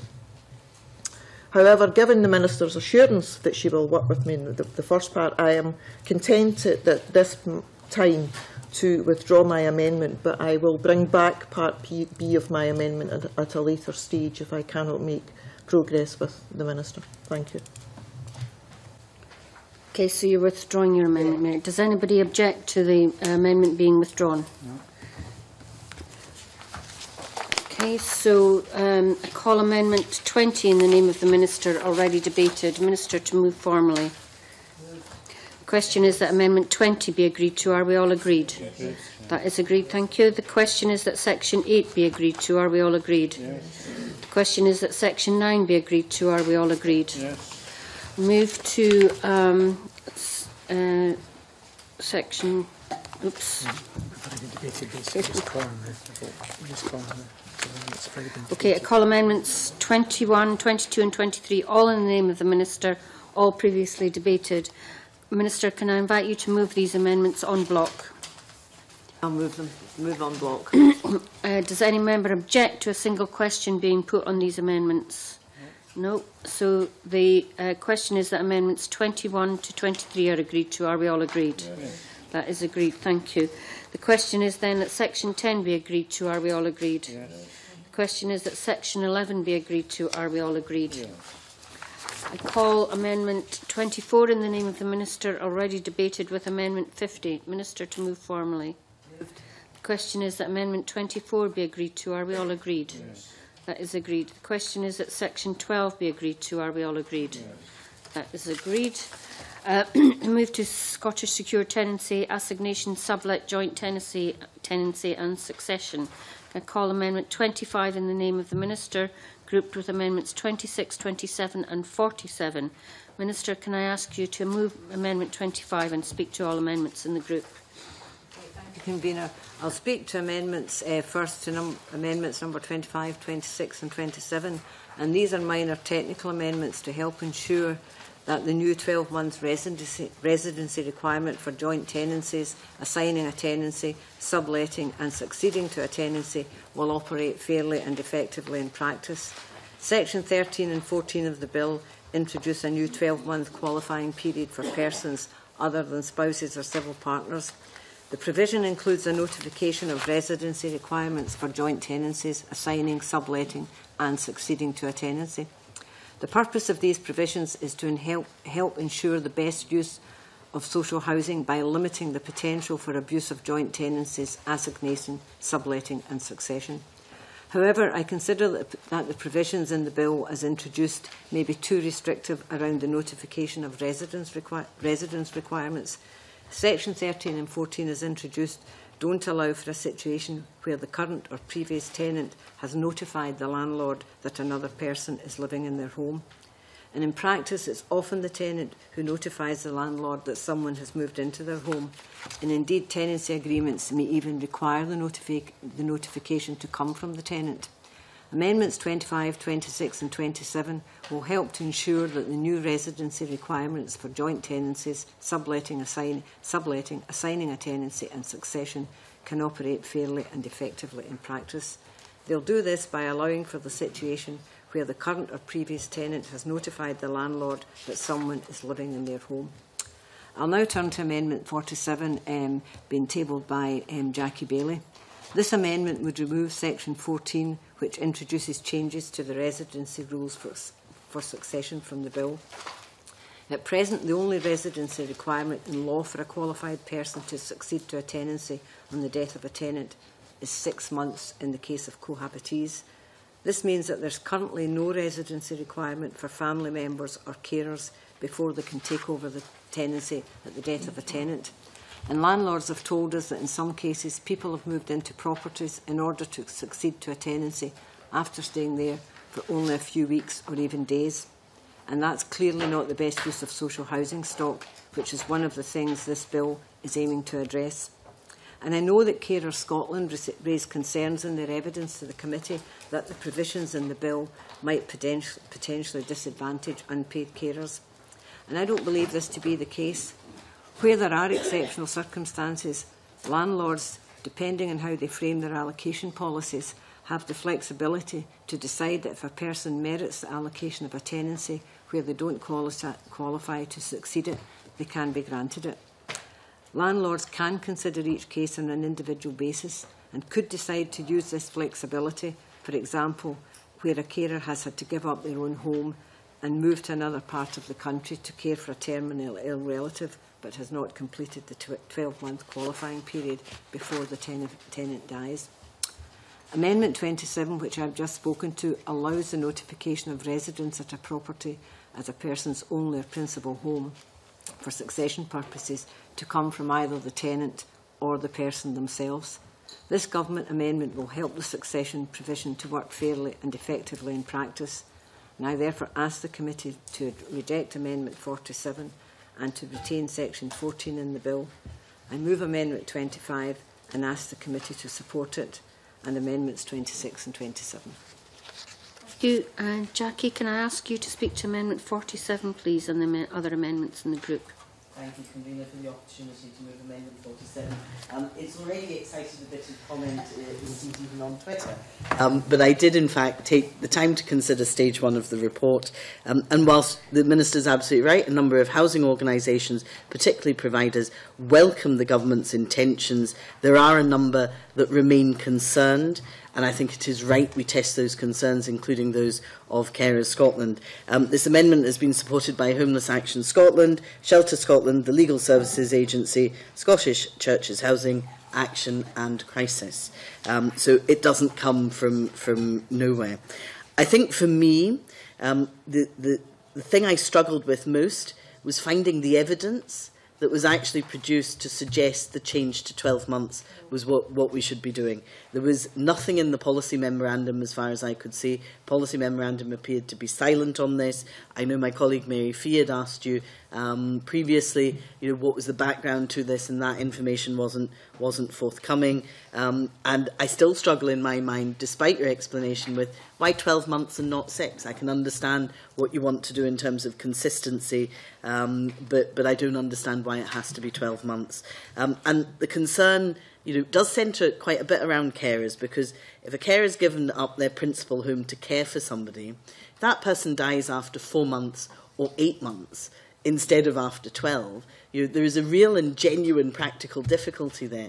Carers are mostly motivated by their desire to care, um, not by a time scale, and also, secondly, not by um, you know the, the actually remembering to notify the landlord, or indeed if the tenant is ill, the tenant notifying the landlord that that has taken place. So you know, I recognise what you say about flexibility, but I am nevertheless concerned that unintentionally we might increase the risk of homelessness. Um, I do think there are one or two people who will test the system and perhaps not fit into the overwhelming majority who are actually trying to do the right thing by the person cared for and the right thing in terms of housing. So, so you know, I would ask for a period of further reflection on this, again, to make sure we get this right. Um, it is also an erosion of the rights of, of, of unmarried partners because you do double the qualifying period. You go from six months to 12 months, and I have no appreciation even in your explanation of why we have done that. Um, some may have well been in the property you know, for a shorter period than the 12 months you suggest, but actually have been in stable relationships for considerably longer. And at a point where somebody is bereaved and dealing with that grief, we just add to it in a completely unhelpful way. Um, I do recognise with all of this is it's about getting a balance. I know the committee was seeking clarification in their report. I think we're, we're looking for the policy basis on which you've, you've made this decision. Um, it is appropriate, I think, to make changes. Some have certainly argued that that's the case, but I think the way we've done it do, does open us to unintended consequences. And I would hope, again, you know, I'm prepared to withdraw if the minister would would take the opportunity for further reflection with those that have concerns to make sure we get the balance absolutely right. Thank you, convener. Anyone else wish to contribute? Okay, Minister, can I ask you to wind up, please? I mean, I certainly note the points that, that Jackie Baillie has raised and absolutely agree with everything she said in terms of carers um, are not operating on a timescale that they are there to care and will understand the concerns that they've highlighted. Um, I do think that landlords have flexibility on this matter and can consider ca cases on an individual basis, but I am happy to take on board what, what Jackie Baillie said and have further discussion in this um, before we get to stage three. Thank you. Um, so the question is that Amendment 25 be agreed to. Are we all agreed? Yes. That is agreed to. I Call Amendment 26 in the name of the Minister, already debated with Amendment 25. Minister to move formally. Moved. The question is that Amendment 26 be agreed to. Are we all agreed? Yes. The question is that Section 13 be agreed to. Are we all agreed? Yes. Uh, call Amendment 27 in the name of the Minister, already debated with Amendment 25. Minister to move formally. the question is that Amendment 27 be agreed to. Are we all agreed? Yes. Call Amendment 47 in the name of Jackie Baillie, already debated with Amendment 25. Jackie, to move or not move? Happy to withdraw in light of the Minister's comments. Okay, the member, uh, does anyone object to... Oh, right, okay. Right, it's not moved. Sorry. The question is... Uh, uh, call Amendment 28 then in the name of the Minister, already debated. Should we go back to Oh, question, I've lo- question section? I've lo- missed a question, sorry. Um, Question section. The question is then that uh, section 14 be agreed to. Are we all agreed? Yes. Thank you. I call Amendment 28 in the name of the Minister, already debated with Amendment 15. Minister to move formally. Moved. The question is that Amendment 28 be agreed to. Are we all agreed? Yes. Question is that section 14 be 15 be agreed to. Are we all agreed? Yes. Question is that section 16 be agreed to. Are we all agreed? Yes. Okay, we move to uh, Scottish starter tenancy, and after this grouping, I'll, I intend to have a short break, comfort break of five. Amendment 8. Did you call Five. section? Sorry, Jim amendment. Oh, call sorry, I call Amendment 8 in the name of Jim Eadie, already debated with Amendment 3. Uh, question is that Amendment 8 be agreed to. Are we all agreed? Oh, sorry, Jim, do you want to move it or not move? Um, not move, but do I have an opportunity to can make a few remarks and then see. Do you want to say something? Please. Okay, on Yeah, Joe. so just to um, say that I will be withdrawing um, my amendment uh, today in view of the, the Minister's commitment to meet with myself, Shelter Scotland uh, and Alex Rowley to explore um, the issues that I have highlighted on behalf of Shelter Scotland this morning. Um, I do note that the Minister is not minded um, to uh, accept Amendment 8, but I would like to just um, reiterate and place on the record the fact that there, is, there does appear to be an inconsistency which I think requires some further clarification. And that inconsistency is that the government is clear um, that the current legislation would allow families placed in temporary accommodation to challenge that um, while Shelter Scotland, based on their experience on the ground, uh, have strongly contended that that is not currently possible. So I think further clarification on that point is necessary, um, primarily because we are talking about a small number of people being placed in temporary accommodation, but we are talking about the most vulnerable people who are pregnant women and children. And if that is the case, and if they are not able to mount a legal challenge, that does strike me as being something that is not acceptable within a civilised society. I don't believe that is what the government um, um, would want to happen. And I do feel that further clarification is necessary, but I very much welcome uh, the Minister's commitment to, to meet with myself, Shelter, Scotland and Alec Rowley, and I know that the Minister is always willing um, to engage constructively and to listen um, to the very reasoned arguments uh, that are put forward throughout the, the course and passage of the legislation. Okay, so Jim Eadie is not moving amend Amendment 8. okay, um, just before we have a short break, we've got the next section, which is Scottish Starter Tenancy. Can I call Amendment 51 in the name of Alex Johnstone, grouped with Amendment 57? Alex, can I ask you to move Amendment 51 and speak to both amendments in the group? Thank you very much, Convener. I'm delighted that you've offered everybody a short break after this, and I was intending taking hours over my amendment. The, I hate it when people bring along amendments that take up a whole piece of paper, uh, and here I am doing it myself. Uh, however, can I reassure members that much of this uh, is simply a means to an end, and that the key element uh, which I wish, wish to talk about is paragraph 5 within this amendment. The idea of a, a, a an initial tenancy uh, was consulted on, I believe, by the government at an early stage of this bill, uh, and yet it doesn't appear in the bill uh, as it was eventually introduced. One of the problems we have uh, in Scotland today is that uh, a significant minority uh, of people who enter social housing seem to step into a revolving door uh, they find themselves continually going round the system, uh, becoming in many cases homeless again and of course requiring to be rehoused. And much of that is uh, actually caused by the fact that we fail to give adequate or appropriate levels of support. My proposal would require the creation of a starter tenancy which would require uh, appropriate levels of support to be given and for an appropriate appeals mechanism and dispute resolution system to be put in place. This would allow uh, new tenants, uh, tenants for the first time, to go into a system where support would be provided and a clear route would be given through that supported period to becoming a secure tenant at the end of it. This objective would, I believe, help to ensure that we create more stable tenancies at the outset and deliver at the end of the process uh, a block of tenants across Scotland who are less likely to fall into the mechanisms of which we've discussed much today. Many housing uh, providers uh, are already providing this kind of support. The problem is that provision is not universal, And by creating a Scottish starter tenancy, I believe we can get into a situation where the vast majority of tenants will be supported through to a full tenancy and that we can get the kind of stability which can be achieved by this process.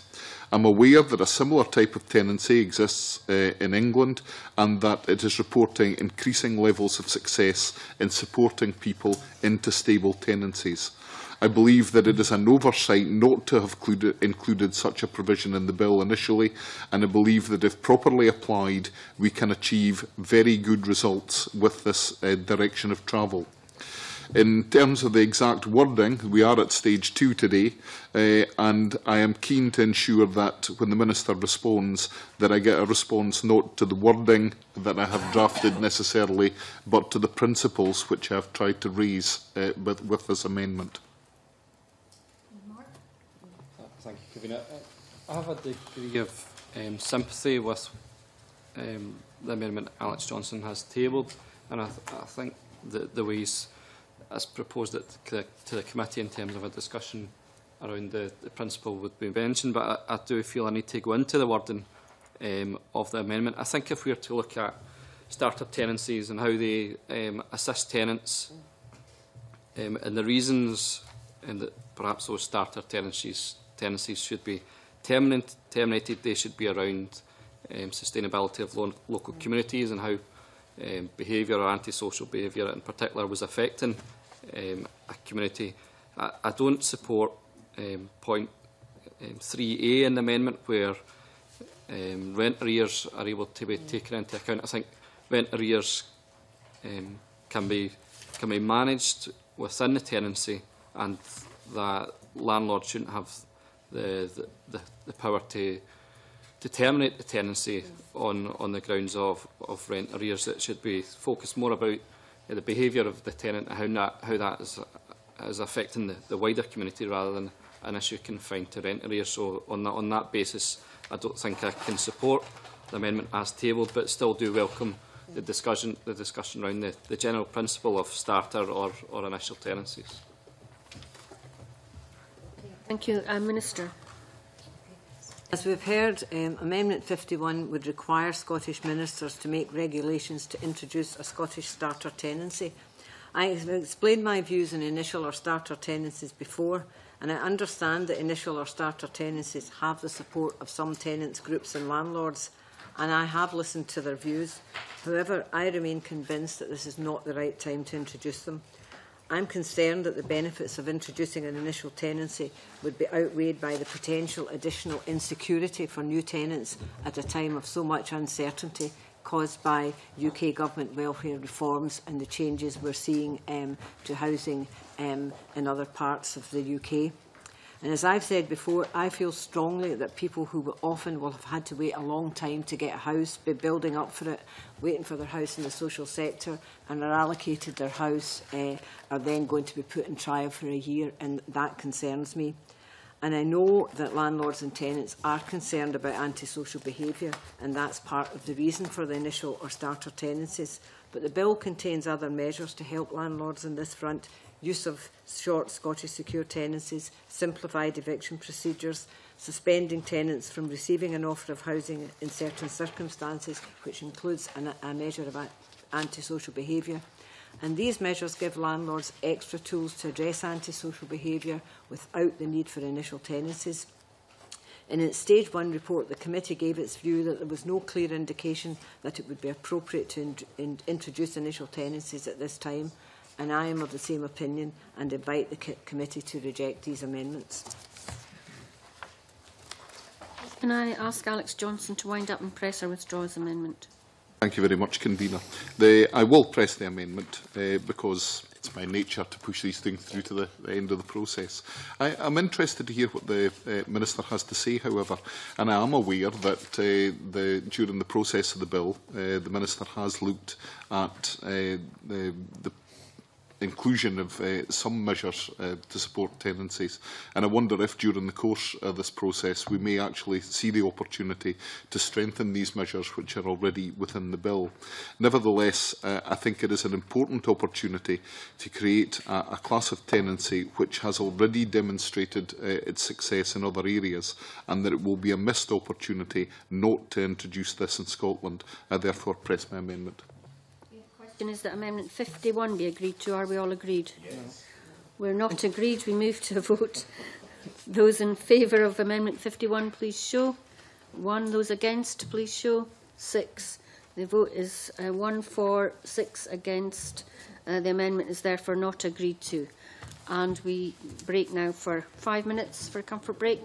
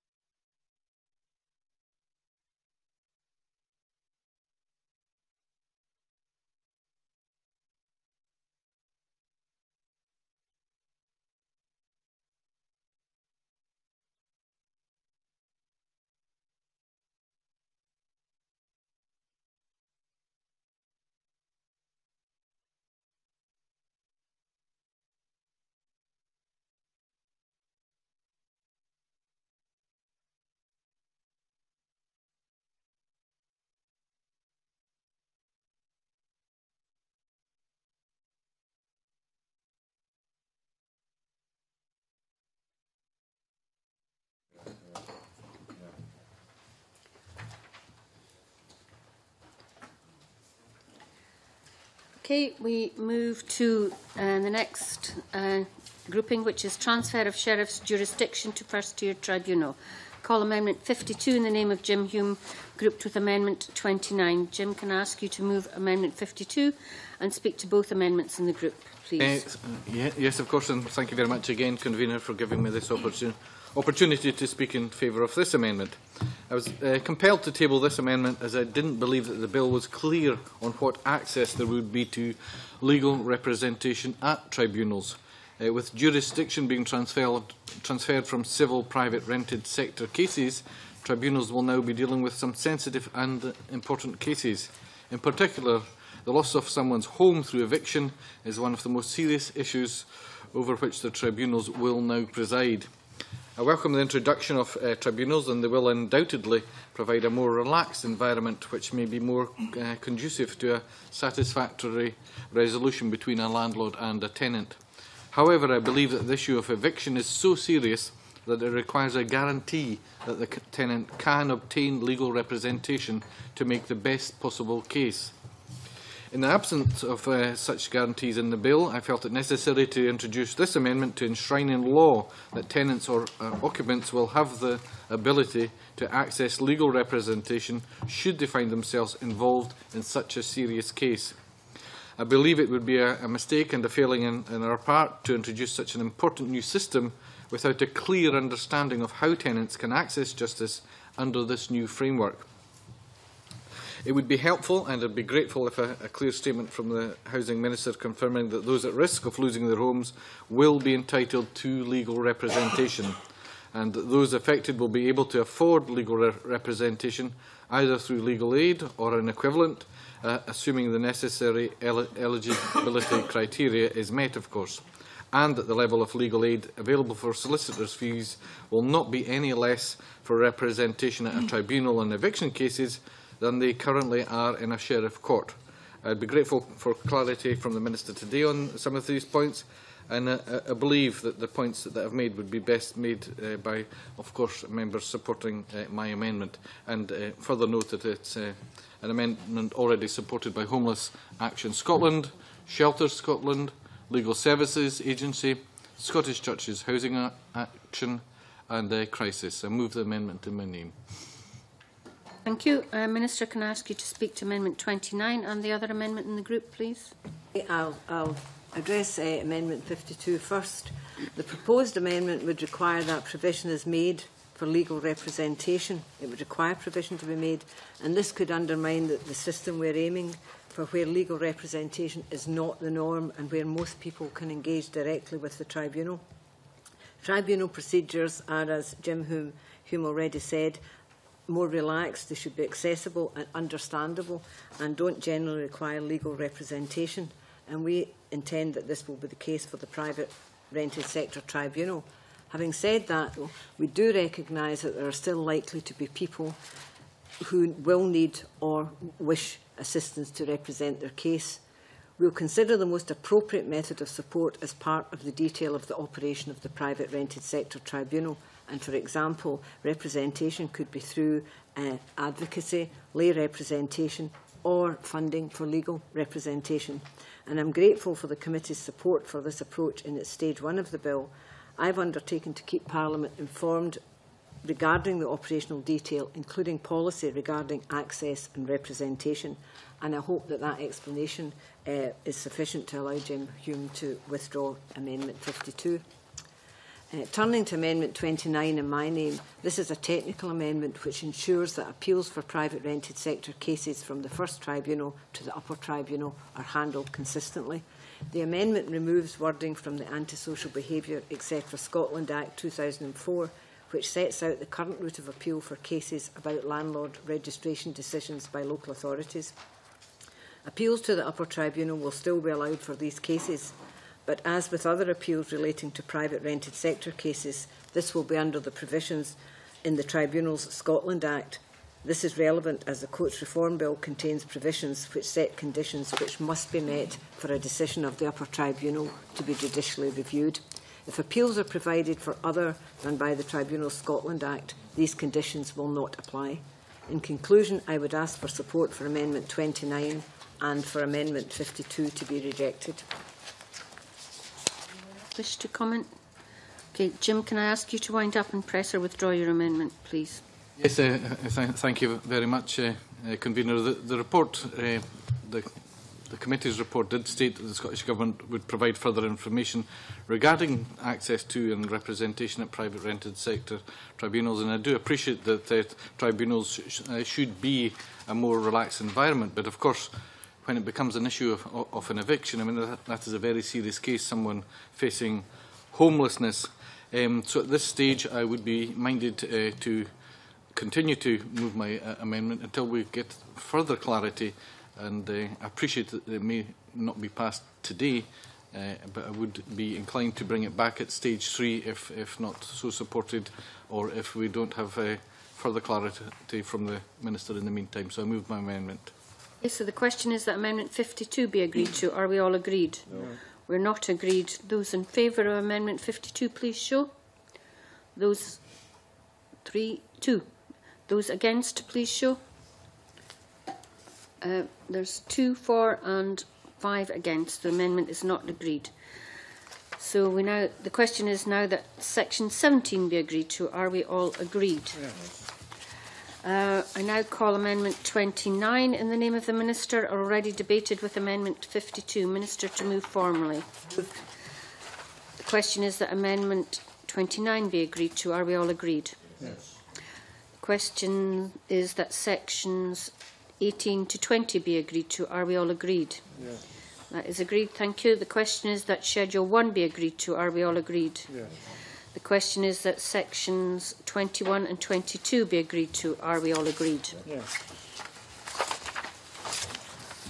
Um, I now move to repairing standard and I call Amendment 31 in the name of Jim Eadie, grouped with Amendments 53, 54, 48, 5 and 30.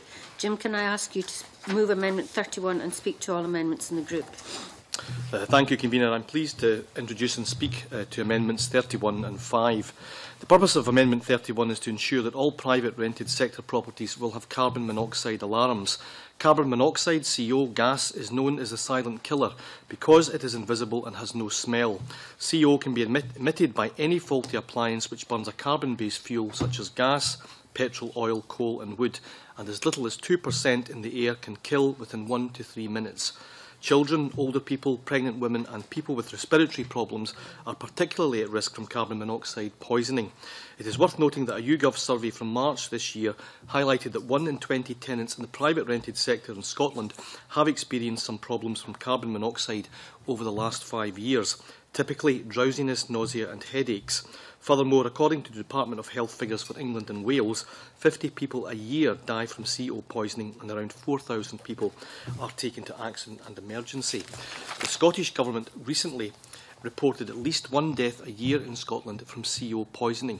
That is one death too many. A recent survey of tenants in the private rented sector in Scotland found that 3% of tenants said they had experienced carbon monoxide poisoning in the last year. This amendment seeks to reverse these figures by introducing an, an inexpensive and effective way to safeguard tenants' safety. All private landlords in Scotland must provide a valid gas safety record and annual checks for the appliances in the property they rent out, but there is currently no legal requirement for them to provide a carbon monoxide detector and alarm. I am keen to see CO alarms as part of an evolution in private renting where stability and security become the norm and where as a result tenants feel comfortable in asking for the services and improvements which turn a private let into a home. I'd like also to place on record my thanks to Shelter Scotland uh, for their work in highlighting this issue and in supporting me in tabling this amendment. Turning now to Amendment 5 um, with regard to the repairing standard, I welcome the opportunity uh, to speak to this amendment, which is intended as a probing amendment. The purpose of this amendment is to prevent landlords from failing to contribute to the cost of common repairs that are required to be carried out in order for their property to meet the repairing standard. This is an issue which has been highlighted by the City of Edinburgh Council. 67% of all homes in Edinburgh are flats and over 45,000 households rent their home from a private landlord. It is essential that these buildings are maintained, but issues with mixed ownership often complicate the process. While common parts of a building are already covered by the repairing standard, it may be difficult for owners to recover the cost of common repairs if a landlord does not contribute. This amendment will help to avoid situations where responsible homeowners pay to maintain common areas which contribute to a privately rented property, meeting the repairing standard, but the landlord fails to contribute to the costs. For example, a secure door entry system in a block of flats may need to be repaired, and the majority of owners have agreed to carry out the work. A private landlord has not been engaging with the owners regarding this work. The owners decide to go ahead with the repair anyway, as the security of the building is compromised. The landlord has not paid for their share of the work, but their flat now complies with the repairing standard. Under the current provisions within the Tenement Scotland Act, the onus is on the other owners to recover costs from the landlord. This can be complex and time-consuming, and of course can act as a disincentive for responsible owners who want to actively maintain their property. Under the proposed amendment, the landlord could be referred to the private rented housing panel and if it is proven that the landlord has not been contributing to common repairs, they could be found guilty of an offence and face removal from the landlord register or a fine.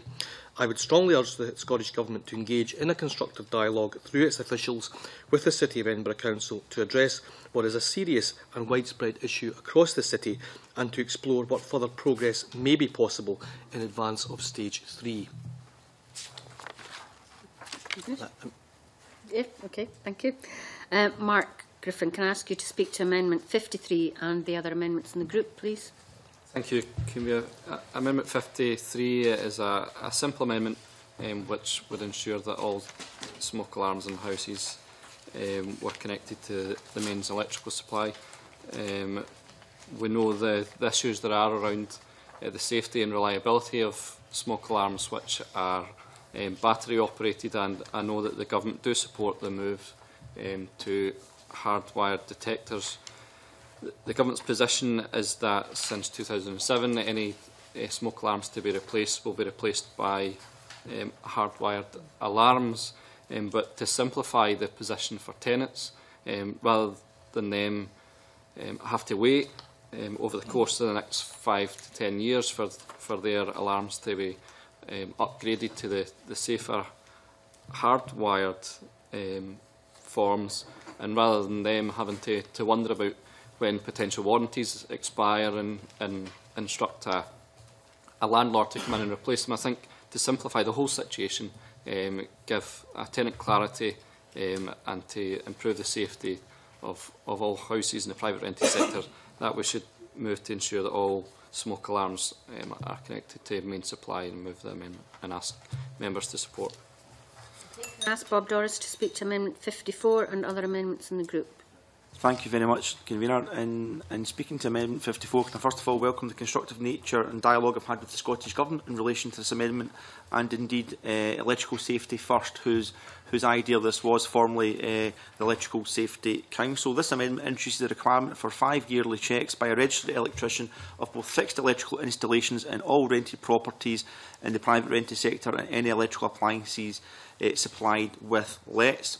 These checks are supported by 12 trade associations, businesses and charities, and that includes key housing stakeholder organisations such as the Scottish Association of Landlords, Shelter Scotland, Royal Institute of Chartered Surveyor Scotland and the Chartered Institute of Housing Scotland, so very broad support. And this amendment will be achieved by an amendment to the repairing standards contained in the Housing Scotland Act 2006. The amendment will introduce a specific requirement for private landlords to arrange for a suitably competent person to carry out electrical safety checks every five years. It will also require that a copy of the record of that inspection is provided to the tenant or any subsequent tenant in that five-year period. A power to issue guidance on electrical standards will also be introduced and enforcement will be through a complaint to the private rented housing panel. Convener, can I just finish off by saying that the majority of accidental domestic fires in Scotland are caused by electricity. That's 69%. And further research indicates that private tenants are far more likely to at risk of electrical fires and shock. So I believe that Amendment 54 is needed. And the key thing is the private rented sector support this further regulation and requirement. Can I call Claudia Beamish to speak to Amendment 48 and other amendments in the group? Thank you, Convener, for the opportunity to speak to my Amendment 48 in, in relation to the duty to make provision on energy efficiency standards. I would like to speak to this amendment and I hope that um, it will be possible um, to include a provision on energy efficiency standards in the private rented sector. This amendment would allow Scottish ministers to set regulations and require landlords to adhere to a minimum energy efficiency standard, which must come into force if my amendment is accepted by the beginning of January to 2015, following a consultation process. There would also need to be, of course, a system of inspection under regulation. It, it also provides the Scottish ministers with the power to set penalties for landlords who fail to ensure, ensure that their properties meet the minimum required standards. And this would include where a house forms only part of any premises. And I appreciate this is a difficult aspect of the amendment, but I think this is something that really seriously needs to be considered because often people can be left um, very um, isolated in, in poor conditions in, in, in their premises. I, I was somewhat surprised that the bill as lodged at stage one did not include provisions relating to this important issue, so my Labour colleagues and I felt it was necessary to propose such an amendment um, at this stage. I'm sure most members would agree improved energy efficiency would create many benefits, to state the obvious, not only in terms of tenants' general comfort, but would help reduce the risk of fuel poverty and reduce carbon emissions. As we all know, the, the, this Parliament introduced the Climate Change Act in 2009, which requires us to achieve annual carbon emissions. And so far, we have missed the first two targets for complicated reasons, But legal standards and energy efficiency would also, in the private rented sector, could also go some way to addressing greenhouse gas emissions in Scotland. We also have a target in relation to fuel poverty, which must be addressed.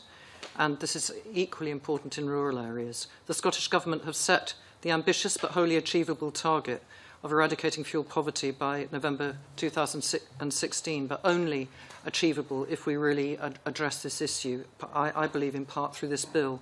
If this target is to be realised, then improved energy efficiency standards are essential, and existing, the existing Homes Alliance is a supporter of, of this, this um, way forward. Uh, I also understand, although I'm not on this committee, that there's been evidence um, highlighted from the Royal Institute of Chartered Surveyors, Edinburgh City Council and Friends of the Earth Scotland, who are all supportive of moves within the bill. I am aware that the Scottish Government have put together a ministerial working group which will look into energy efficiency standards in the whole of the private sector, and that this group is likely, if I understand correctly, um, and the Minister will no doubt um, confirm this, or, or um, if I'm wrong, I apologise, but I understand that's to report in the autumn. Uh, while this is welcome news, I would like my amendment lodged today uh, to help focus minds on what would be best as a means of addressing the issue with regards to the private rented sector within this section of the bill.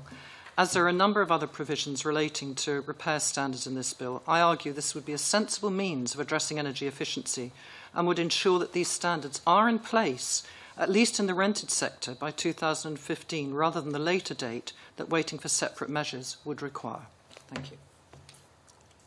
Okay, can I ask the Minister to speak to Amendment 30 and the other amendments in the group, please? Okay, thank you, Convener. Um, I'll start in the order that we've had them with Amendment 31 uh, proposed by Jim Eadie uh, and I thank um, Jim Eadie for raising the, the issue of carbon monoxide poisoning in, in private rented homes. The installation of carbon monoxide detect detectors will help to provide additional protection to tenants in the private rented sector and uh, Mr Eadie has already outlined the, the impact and the number of deaths over the UK by carbon monoxide poisoning. The amendment will add the requirement for carbon monoxide detectors to be installed to, to be installed to the repairing standard for private rented homes and in doing so strengthens housing standards and the safety of tenants in the private rented sector. I welcome uh, this proposal and would urge the committee to support this amendment. Uh, Mark Griffin's Amendment 53 seeks to require the installation of hardwired smoke alarms in properties in the private rented sector But I, as I said at stage one, since September 2007, private landlords must already install a hardwired smoke alarm to achieve the repairing standard. If there was no provision for, if there was no provision for smoke detection already in place, where landlords have already installed battery-operated alarms prior to September 2007, these must be replaced with hardwired detectors at the end of their five to 10-year lifespan. This means that all battery-operated detectors should be replaced with hardwired systems by 2017. I believe this phased approach is sensible and proportionate It will achieve the desired purpose of the amendment in an incremental way and ensure that fire safety standards continue to steadily improve. And I would ask Mark Griffin not to move Amendment 53 and the committee to reject it. I'm also grateful to Bob Doris for raising the important issue of electrical safety in private rented homes in Amendment 40, 54. Regular electrical safety testing will add additional protection to tenants in the private rented sector and reduce the risk of exposure to unsafe electrical installations. This is an issue that's strongly supported, as um, Bob Doris said, um, by the electrical safety, electrical safety first, I think they're called now, whose research suggests that 70% of accidental fires in Scotland are caused by electricity. The amendment will include the requirement for landlords to ensure such a test is completed at least once every five years, and tenants will also be provided with a copy of the most recent record of an inspection. I believe this amendment will strengthen housing standards and the safety of tenants in the private rented sector, and I welcome the proposal and urge the committee to support it. I have some concerns with Claudia Beamish's Amendment 44 that seeks to introduce a provision on energy efficiency standards in private rented sector properties. Scottish ministers already have powers to introduce minimum standards for energy efficiency in private sector housing under the Climate Change Scotland Act and the Energy Act, and we are committed to improving energy efficiency to help address fuel poverty and reduce carbon emissions from housing. We are already working with stakeholders, including environmental, fuel poverty, local authority, private rented sector and consumer interests to identify proposals for minimum energy efficiency standards for consultation in spring 2015. And as well as being unnecessary, this proposed amendment would not allow sufficient time to understand the issues that the working group has identified. We need to take proper account of the evidence we have commissioned on what level of regulation is technically feasible and appropriate. Consultation on the Scottish Government's Sustainable Housing Strategy also indicated strong support for sufficient lead-in time for the sector to prepare for minimum standards. And this amendment seeks to undermine that process by severely limiting the opportunities to, to develop proposals that will be appropriate to the sector as a whole and will con potentially constrain their ability to deliver on it. I'm already proposing Amendment 30 to enable the repairing standard to be amended by regulations. So if the steering group on minimum energy efficiency standards in the private sector identifies that it would be appropriate to use the repairing standard to support improvement in energy efficiency work, that could be looked at in future after appropriate consultation. And for these reasons, I don't consider that the amendment is necessary or that it would achieve the desired purpose and I would invite Ms Beamish not to move Amendment 48 and members not to support it. I move now to, to Amendment 5, um, and I have concerns with Jim Eadie's Amendment 5, which seeks to force private sector landlords to comply with majority decisions to complete repairs to common parts of a property. Owners already have a right under the tenement management scheme to pursue any other non-complying owner for work agreed under a majority decision. In addition, owners already have a common duty to maintain any part of the building which provides support or shelter to any other part, and an owner can recover costs from any other owner.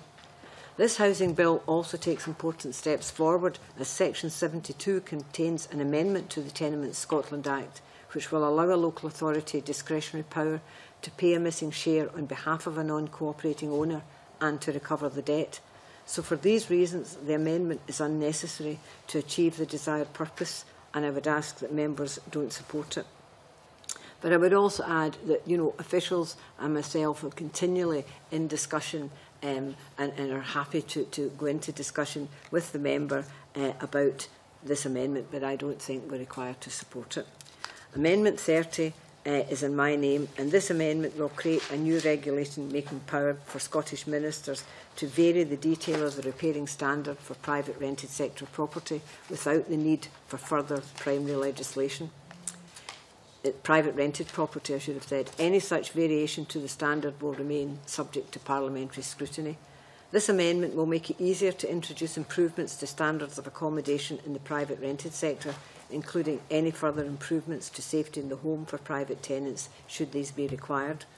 The Scottish Government proposed work in cross-tenure housing quality standards later this year will provide stakeholders with the opportunity to raise further issues regarding housing quality. And the outcome of this consultation will be important in determining, determining any further changes to housing standards. This amendment will provide assurance that further changes to the repairing standard can be made following the outcome of the consultation, and I would therefore ask members to support amendment number 30. Okay, anyone else wish to comment? Okay, Jim, can I ask you to wind up and press or withdraw your amendment, please? Uh, thank you, Convener. I'm grateful uh, to the Minister for her positive response in relation to Amendment 31 and for the constructive uh, engagement which, the, which the, there has been uh, between myself and the Minister and the Scottish Government on this issue. Um, I'm delighted, in fact, that this will strengthen the rights of people living within the private rented sector. Um, I would also note, in relation to Amendment 5, um, the Minister's clarification uh, that existing legislation allows, or sorry, the existing um, proposal would allow a local authority uh, to recover a contribution um, from a private landlord in relation to a common repair uh, and welcome the Minister's commitment to an ongoing dialogue with the City of Edinburgh Council uh, on the issues that were highlighted in my amendment. And on that basis, I am uh, pleased to move Amendment 5 and to withdraw Sorry, to, pleased to move Amendment 31 and to withdraw. Fine, sorry. Thank you, Convener. So you're moving amendment um, 31. 31. Okay. The question then is that Amendment 31 be agreed to. Are we all agreed? Yes. That is agreed. I call Amendment 53 in the name of Mark Griffin, already debated with Amendment 31. Mark, to move or not move? No. The question is that Amendment 53 be agreed to. Are we all agreed? No. We're not agreed. We move to a vote. Those in favour of Amendment 53, please show. Three. Those against, please show. Four. The amendment is not agreed to by yes, three, no, four. Uh, I call Amendment 54 in the name of Bob Doris, already debated with Amendment 31. Bob, to move or not move? Moved, Convener. The question is then that Amendment 54 be agreed to. Are we all agreed? Yes. That is agreed. Um, I call Amendment 48 in the name of Claudia Beamish, already debated with Amendment 31. Claudia, to move or not move? Move, convener, please. The question is that Amendment 48 be agreed to. Are we all agreed? No. We're not agreed. Um, we move to a vote. Those in favour of Amendment 48, please show. Two. Those against, please show. Five. The amendment is not agreed to by two votes to five. Um, I call Amendment 5 in the name of Jim Eadie, already debated with Amendment 31. Jim, to move or not move? Not moved. Okay, I call Amendment 30 in the name of the Minister, already debated with Amendment 31. Minister, to move formally. Moved. The question is that Amendment 30 be agreed to. Are we all agreed? Yes. We're not agreed. Uh, we move to a vote. Those in favour of Amendment 30, please show. Five. Those against, please show. Two. The amendment is agreed by five votes to two. I call Amendment 6 in the name of Eadie, grouped with amendments Oh, we move to enforcement of repairing standards. So I call Amendment 6 in the name of Eadie, grouped with Amendments 10, 11, 32 and 41. Jim Eadie, can I ask you to move Amendment 6 and speak to the um, other amendments in the group? Uh, thank you, Convener. I'm pleased to move and introduce Amendment 6, the purpose of which seeks to enable neighbouring owners who are adversely affected by a property that does not meet the repairing standard to refer the owner of the said property to the private rented housing panel. This amendment would also allow advice services to make referrals to the private rented housing panel where the advice service is providing support to a tenant who is, whose property does not meet the repairing standard. It is worth noting that common repairs can be very complex, especially in a city like Edinburgh, where 67% of all homes are flats, 49% of homes were built before 1945, and over 45,000 households rent privately. Data from the Scottish House Condition Survey shows that 76% of private sector homes are in some form of disrepair. While the majority of landlords operating in Edinburgh do take responsibility for their obligations towards common repairs, more can be done to ensure that tenants and neighbouring homeowners have the power to hold bad landlords to account. Allowing neighbouring owners to make a referral to the private rented housing panel would help to enforce the message that people need to take responsibility for the maintenance of their own home as well as the common areas of the building. Neighbouring owners may be more likely to take a proactive approach in reporting the need for a repair than a tenant who may fear redress from the landlord. Landlords may be less likely to take an interest in the upkeep of the building and common areas if they are not actually living in the building. They may also be less aware of the general state of repair of the building, especially if they do not visit the property on a regular basis.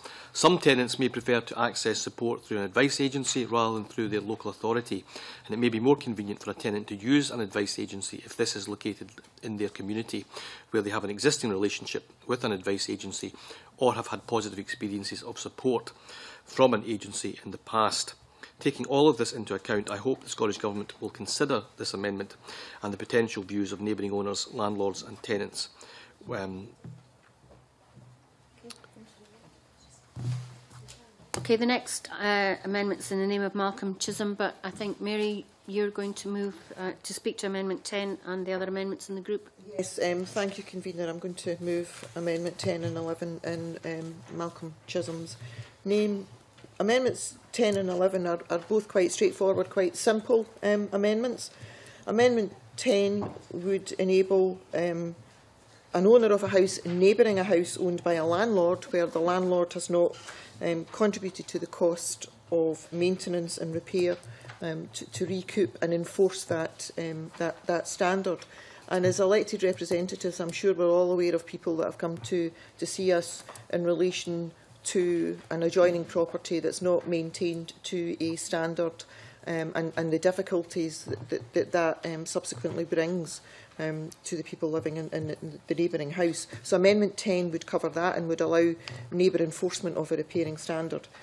Uh, similarly, um, Amendment 11 um, would extend enforcement of the repairing standard to contractors, because quite often it's contractors that are coming out to do work that um, could highlight um, lack of repairing standard and, and would be in a position where they could um, ensure that the, the, the correct standards um, were met. Um, amendment 32, in um, the name of the Minister, I am um, supportive of um, that amendment. Similarly, amendments um, 41, I am supportive of that. So I move amendments 10 and 11 in Malcolm Chisholm's name. Okay, Minister, can I ask you to speak to Amendment 32 and the other amendments in the group, please?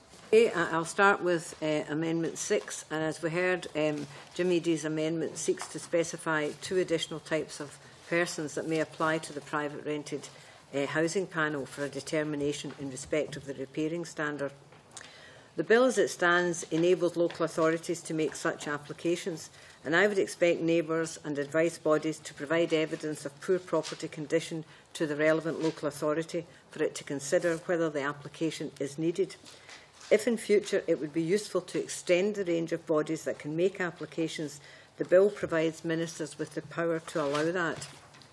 In addition, new powers for inspection I am proposing as part of the provisions for third-party reporting support the strategic role that local authorities play in ensuring that properties right across Scotland meet minimum standards. The power of entry for local authorities to inspect a property in relation to the repairing standard will be an important new tool. Taken together with existing powers of inspection, this will enable local authorities to enter private rented sector properties for a variety of housing-related issues.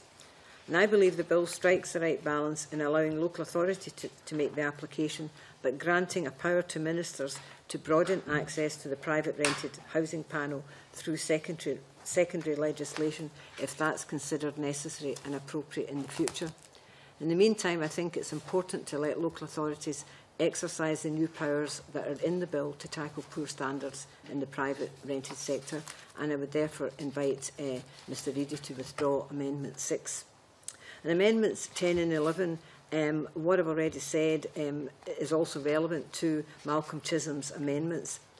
As I've already indicated, third parties such as service managers can report evidence about poor property condition to the relevant local authority. If experience shows that that it would be advantageous to allow service managers to make direct application, then there is the power to do that. And I think it's preferable to let local authorities operate the provisions for applications to the panel and consider how effective that proves before extending the bodies that can do it. and I would ask members not to support Amendments 10 and 11. Finally, in this group, I will speak to my own amendments number 32 and 41. First, I'll quickly deal with Amendment 41, which is a technical amendment removing redundant references relating to Scottish homes from Section 22 of the Housing Scotland Act 2006, and I would ask members to support Amendment 41. Amendment 32 is a more significant change. I want local authorities to be able to take effective action where there is evidence that property condition falls below legal minimum standards. The provisions for third-party reporting provide an additional and important tool for local authorities to take action to enforce the repairing standard. In some cases, it may be difficult for a local authority to gather evidence in property condition without a power of entry to inspect a property suspected of failing the repairing standard. The new power of entry, as introduced by Amendment 32, is significant and can be used much more easily than the powers previously considered in the policy memorandum for designating a specific geographic area as an enhanced enforcement area. And after further consideration, I believe that allowing all local authorities to inspect properties that they have concerns about, regardless of geographical location, provides a more appropriate and effective solution.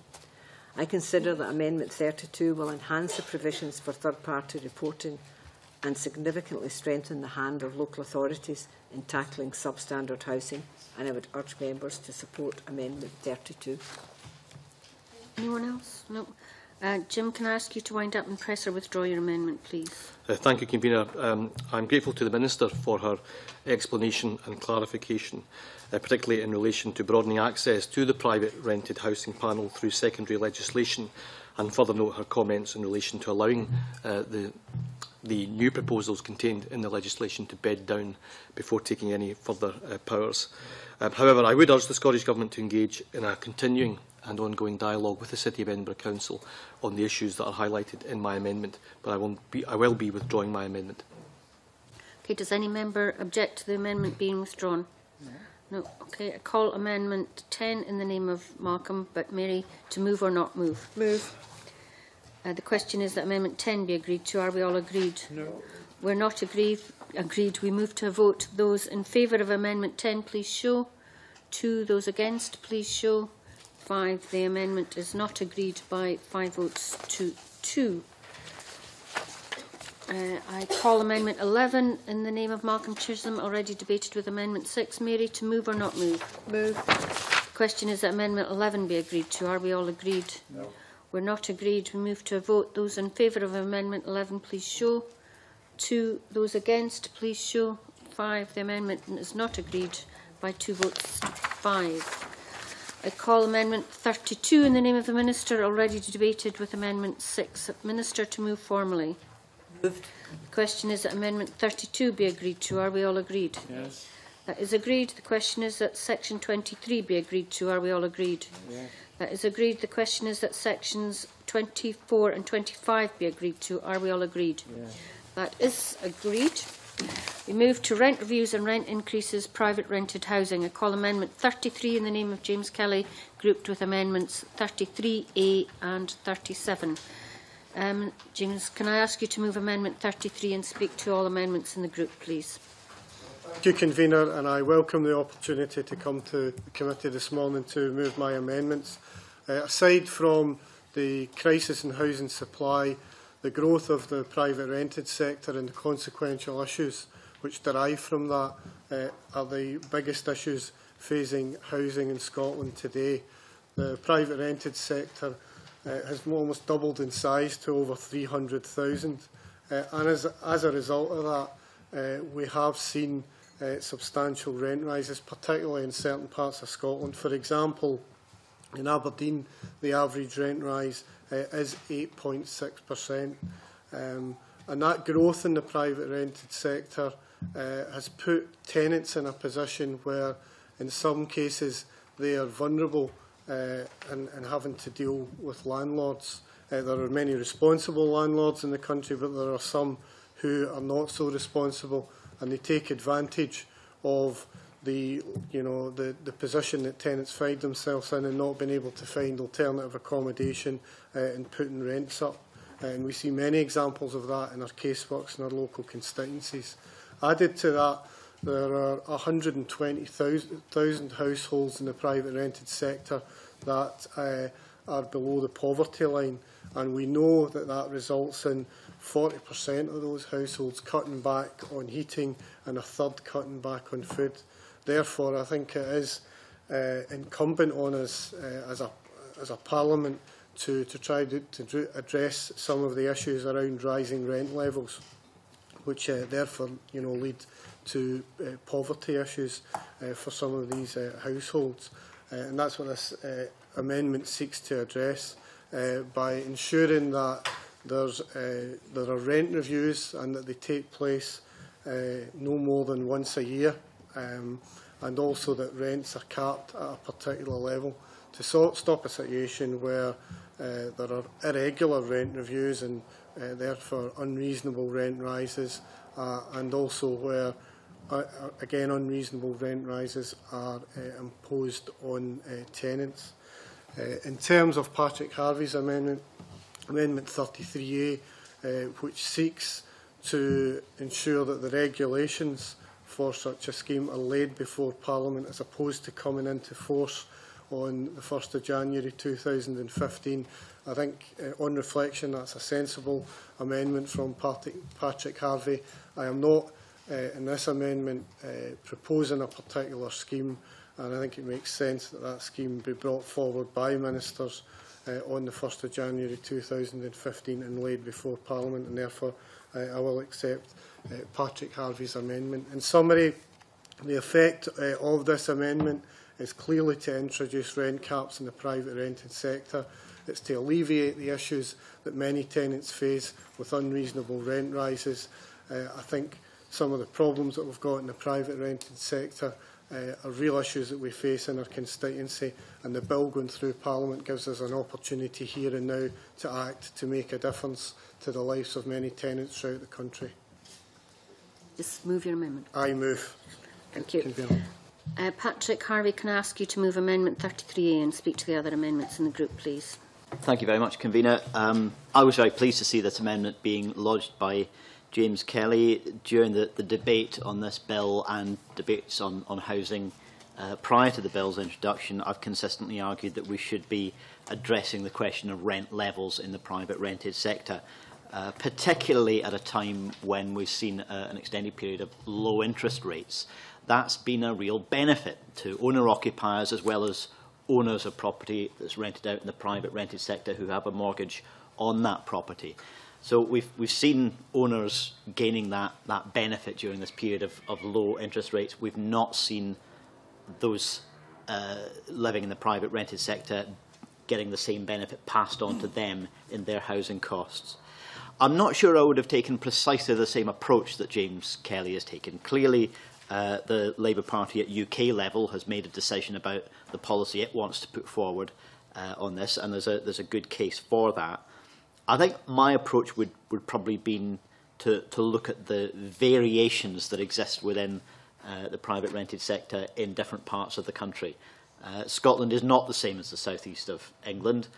Aberdeen is not the same as rural parts of Scotland that, that don't see the same prices there. Even different parts of Glasgow or Edinburgh are not the same as each other. I think my instinct would have been to, to give uh, a power to introduce some uh, controls on, on rent levels in particular areas where the evidence demonstrates that there is a particular problem. And I think that approach would be less likely to have a, a more a kind of wider disruptive effect on the, the private rented sector more generally. However, if we're going to discuss, or if the committee is going to debate and decide on, on James Kelly's amendment as it's framed, it did seem to me that it ought to be uh, a, a date that was achievable. And it, I think, given the, the, the time scale to the end, uh, to, to the beginning of, of 2015, does seem to me to be enough time for ministers to consider their options, consult on the issue, draft regulations and introduce them to Parliament. Uh, I think, given the, the, the requirement for Parliament then to take evidence on those regulations, scrutinise, make a decision, and for them to come into force, uh, including any systems needed to be in, in effect uh, to, to implement them, that's a wee bit ambitious as a timescale. So if the committee is going to make a decision uh, on this amendment. Uh, I think it's, uh, it's reasonable to uh, move the timescale back a wee bit, and I'm grateful for James Kelly acknowledging that. I suppose the last thing I would say, Convener, is that if the committee doesn't decide that this approach uh, is the right one, uh, I do hope that there's some willingness to look at uh, alternate variations on the, the theme of rent levels uh, at the time that we reach stage three. Uh, not yet, no. All right, sorry. Eh? Yeah, you have to move it now. Oh, it's an amendment to an amendment. I beg your pardon. I move amendment 33A. okay, thank you. Uh, anyone else? No, Minister? Well, I, I have reservations about uh, Amendment 33 because it would require Scottish ministers, I think uh, Patrick Harvie has highlighted that, to introduce rent control by 1st January 2015.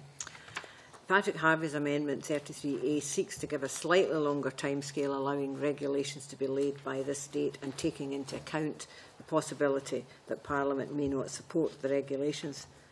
However, I can't support the proposal as put forward uh, by James Kelly or by the amendment by Patrick Harvie, which would improve the drafting. It, it doesn't address the reasons why I think the proposal is flawed because what is being proposed is a significant new duty in respect of matters that formed no part of the Housing Bill in introduction. If I had brought forward an amendment such as this at this late stage, I would quite rightly have been criticised for having failed to consult stakeholders, for not producing any assessments of the impact that the duty would have on landlords or tenants, and for denying this committee opportunity to consider and take evidence on the provision at stage one. This is a significant measure that we're talking about, and a measure of this significance requires full public consultation on the basis of clear proposals, followed by close parliamentary scrutiny of detailed provisions that appeared on the face of the bill at introduction. And as none of these conditions have been met, I urge members to reject the amendments in this group. Okay, thanks. Thank you. Um, James Kelly, can I ask you to wind up on Amendment 33, please?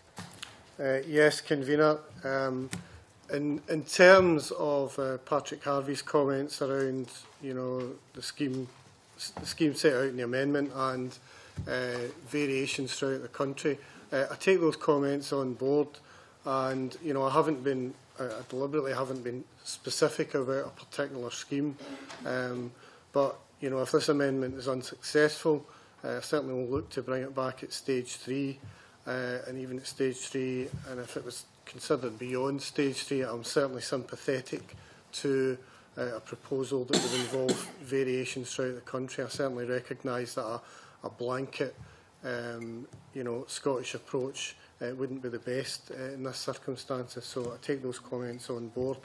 Uh, I think in terms of the, the Minister's comments, uh, I really think the response is ina inadequate. There are big issues uh, faced you know, by tenants throughout all our constituencies and communities throughout Scotland. Patrick Harvey is right to highlight the fact that you know there's been a real shift in power because of the growth of the sector and the low interest rates in favour of landlords uh, and not in favour of tenants. Um, and I didn't get from the Minister that she acknowledged that the growth in rent levels in the private rented sector was an issue. Uh, I, think it I think it is an issue and it should have been addressed uh, in the bill. And if you'd been listening to stakeholders, uh, um, a number of stakeholders we're telling you loud and clear that that's an issue in the bill. So it seems almost to me, Minister, as if you're turning a blind eye to something that's a big issue in housing. Uh, you're the Housing Minister and you're therefore responsible for uh, making a positive impact on housing policy. This bill gives you the opportunity to do that. Uh, and the proposal uh, before us, if, uh, if if that's not the one you like, you know, try and bring back an alternative one at stage three, but you seem set not to take any action on that. And that's something that will be greeted uh, by, uh, with disappointment uh, by uh, many tenants uh, and people on the ground throughout Scotland. Harvie, can I ask you to wind up on uh, 33A and press or withdraw your amendment, please? Uh, given that James Kelly has indicated that he doesn't object to the amendment to his amendment, um, I, I don't think I have anything further to add. Okay, so you're pressing your amendment. Yes, please. Okay. Uh, the question is that Amendment 33A be agreed to then. Are we all agreed? No. We're not agreed. They'll put the amendment to a vote. Those in favour of Amendment 33A, please show. Those against, please show.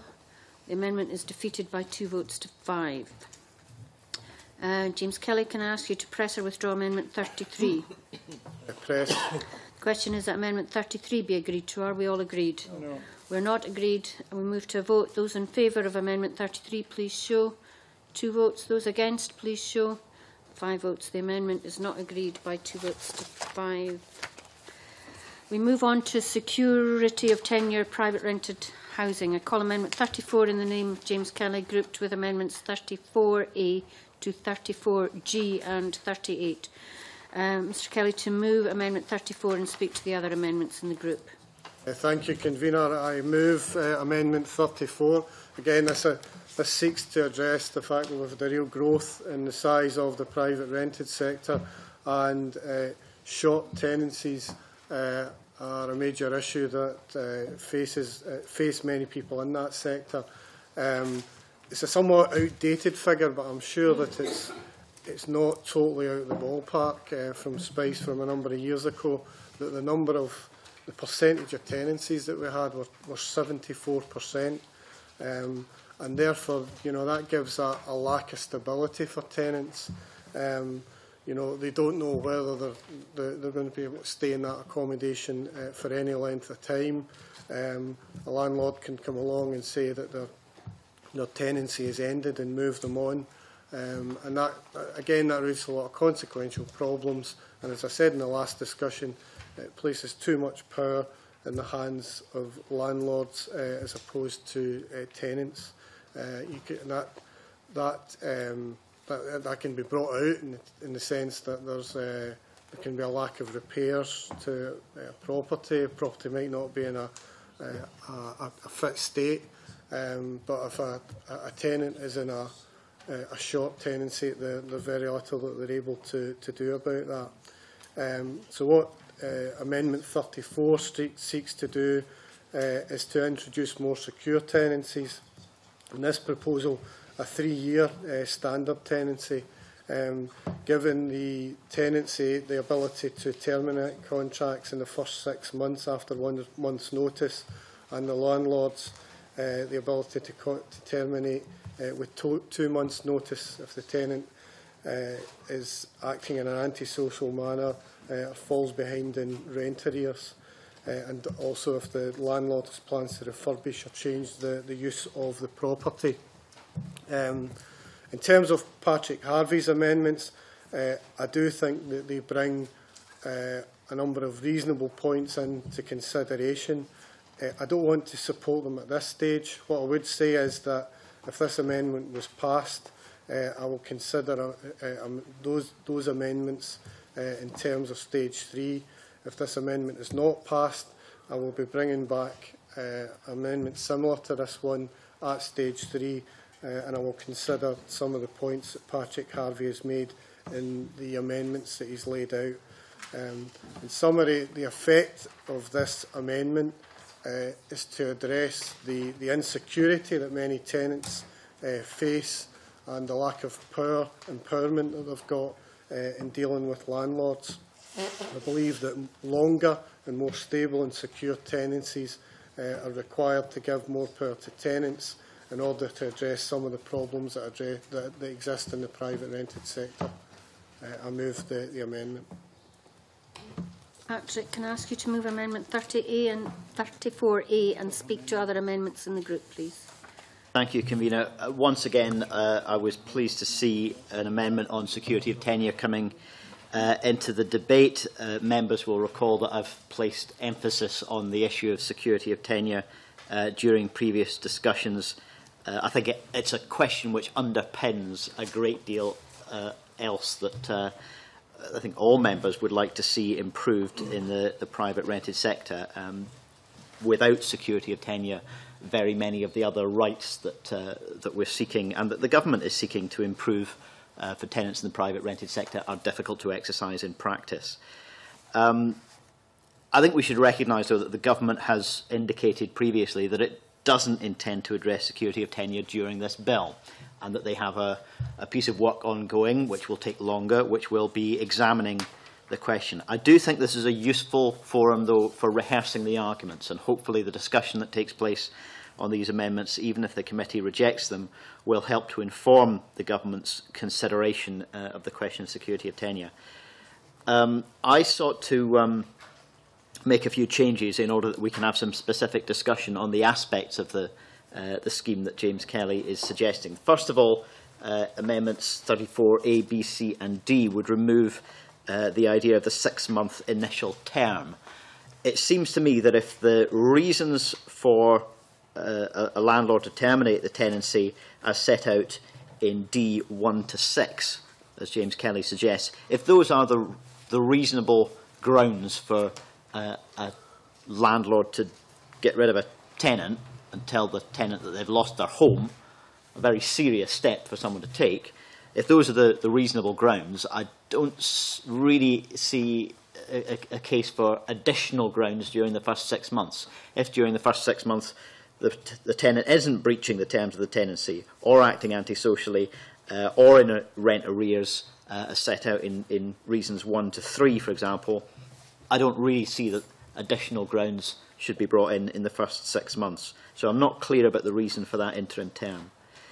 34E suggests that where refurbishment or change of use uh, is the reason for ending a tenancy, six months' notice might be given. If a landlord intends to change the use of a property or refurbish it, it seems to me reasonable to expect them to plan ahead for that kind of uh, action uh, and to give sufficient notice that, uh, that a tenant doesn't have their life unduly disrupted and that they've got time to make alternative arrangements. 34F suggests that uh, the uh, a property being refurbished, uh, a tenant should at least have the option to move back in when that's done. Uh, F and G are both intended to close down the possibility that these reasons, uh, reasons uh, five and six might, four, five and six rather, might be misused. I think we've we've probably all uh, heard of constituents uh, who are told that uh, a property is going to be sold and that's why they've got to move out. Uh, and then within weeks it's back on the market at a higher rent. Uh, I think that's a very common practice. And it seems to me that uh, refurbishment, if this was a, a grounds for uh, removing a tenant from their home, uh, it's entirely conceivable that we could see very minor refurbishments done, uh, which are not extensive enough to genuinely require somebody be, to be removed from their home uh, but the, the property goes then back on the market. Uh, 34G is, is similar in intent, trying to cut down on the possibility that a, uh, one of these reasons could be used as an excuse rather than a genuine grounds. It suggests that if a property is going to be sold uh, or if the landlord is going to move back into it themselves, that that actually happens in practice rather than seeing the property put back on the market. Uh, and so I've suggested that it, that it couldn't be put back on the market for private rent for a period of six months. Um, again, in, in closing on, on this discussion, convener, I, I recognise that the government is probably unlikely to budge on this one, but I do think some discussion of these specific questions in the scheme of secure tenure that we might move to in time uh, will hopefully help to inform the government's consideration of any further work that it's doing on the issue. And I move Amendment 34A. Anyone else? No, Minister? Thank you, Convener. Um, amendment 34 would place a duty on ministers to introduce regulations to establish a new type of tenancy in the private rented sector.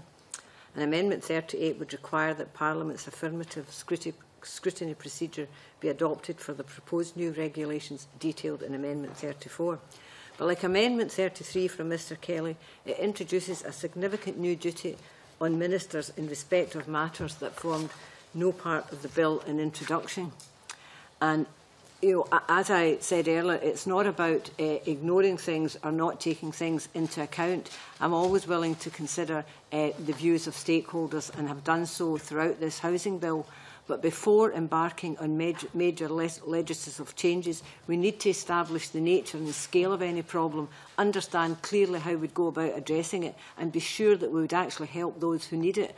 And I, I would say to Patrick Harvie, he has raised these issues before uh, of rent control and of security of tenure in the private sector, but that is the only um, indication there has been, it has come to me from anyone in this Parliament, And we have discussed this in terms of security of tenure with stakeholders. Um, so I'm objecting to these amendments on the grounds that we, we haven't uh, had the appropriate consultation on it, but also we, we recognise that tenancy regime is central to the efficient, efficient functioning of the private rented sector, and that's why in our private rented sector strategy we undertook to carry out a review of the tenancy regime. And to drive this work forward, I asked Professor Douglas Robertson to chair a stakeholder-led review group to examine the suitability and effectiveness of the current private-centred uh, eh, tenancy regime and to consider legislative changes where required. Where required. And the re review group was established in 2013, September 2013 and they presented their final report to me on Friday of last week. And I want to consider that report and decide in light of it whether we should introduce a separate bill to give effect to any of its recommendations. And the group... Yep. Uh, I'm, I'm grateful to the Minister for giving way. It would be helpful uh, for the discussion if the Minister was able to say when that report is going to be published. I saw it for the first time on Friday. Understood. Um, I know I can't ask, but we will publish it as soon as possible because I have said clearly and clearly before that if we need to introduce regulation on tenancy regime, we would do so um, in, in separate legislation. That was made very clear and the group were aware of that. It was not part of the housing bill. But we are, this matter has been ongoing for some time within the government and certainly I will make sure that that research is published as soon as possible. Thank you. And I want to I, I want to consider that report and that way any legislation to change the private rented sector regime would reflect the findings of the group and importantly would be the subject of full consultation and parliamentary scrutiny. So I would ask Mr Kelly to withdraw Amendment 34 and not to propose to continue with Amendment 38. And Amendments 34A to 34G would amend Mr Kelly's Amendment 34. And as I've said about amendment itself, we need to take time to consider the findings from the private rented sector tenancy review group before we make any changes to tenancy regime. We need to ensure also that changes are fully discussed and explored because these are major changes Um, th these are not just tinkering in the edges of the bill. These are major legislative changes and stakeholders require to have uh, be consulted and we'll have a full and robust public consultation and parliamentary scrutiny. So I would ask Mr Harvie not to, pr to press amendments 34A to 34G and ask the committee to reject all of the amendments in this group. And James Kelly to wind up on Amendment 34. Thank you, Convener. Um, in terms of Patrick Harvie's comments, I think there were two central themes there. First around the initial tenancy and then around some of the provisions uh, in relation to a landlord being able to, to terminate where there were, for example, refurbishments.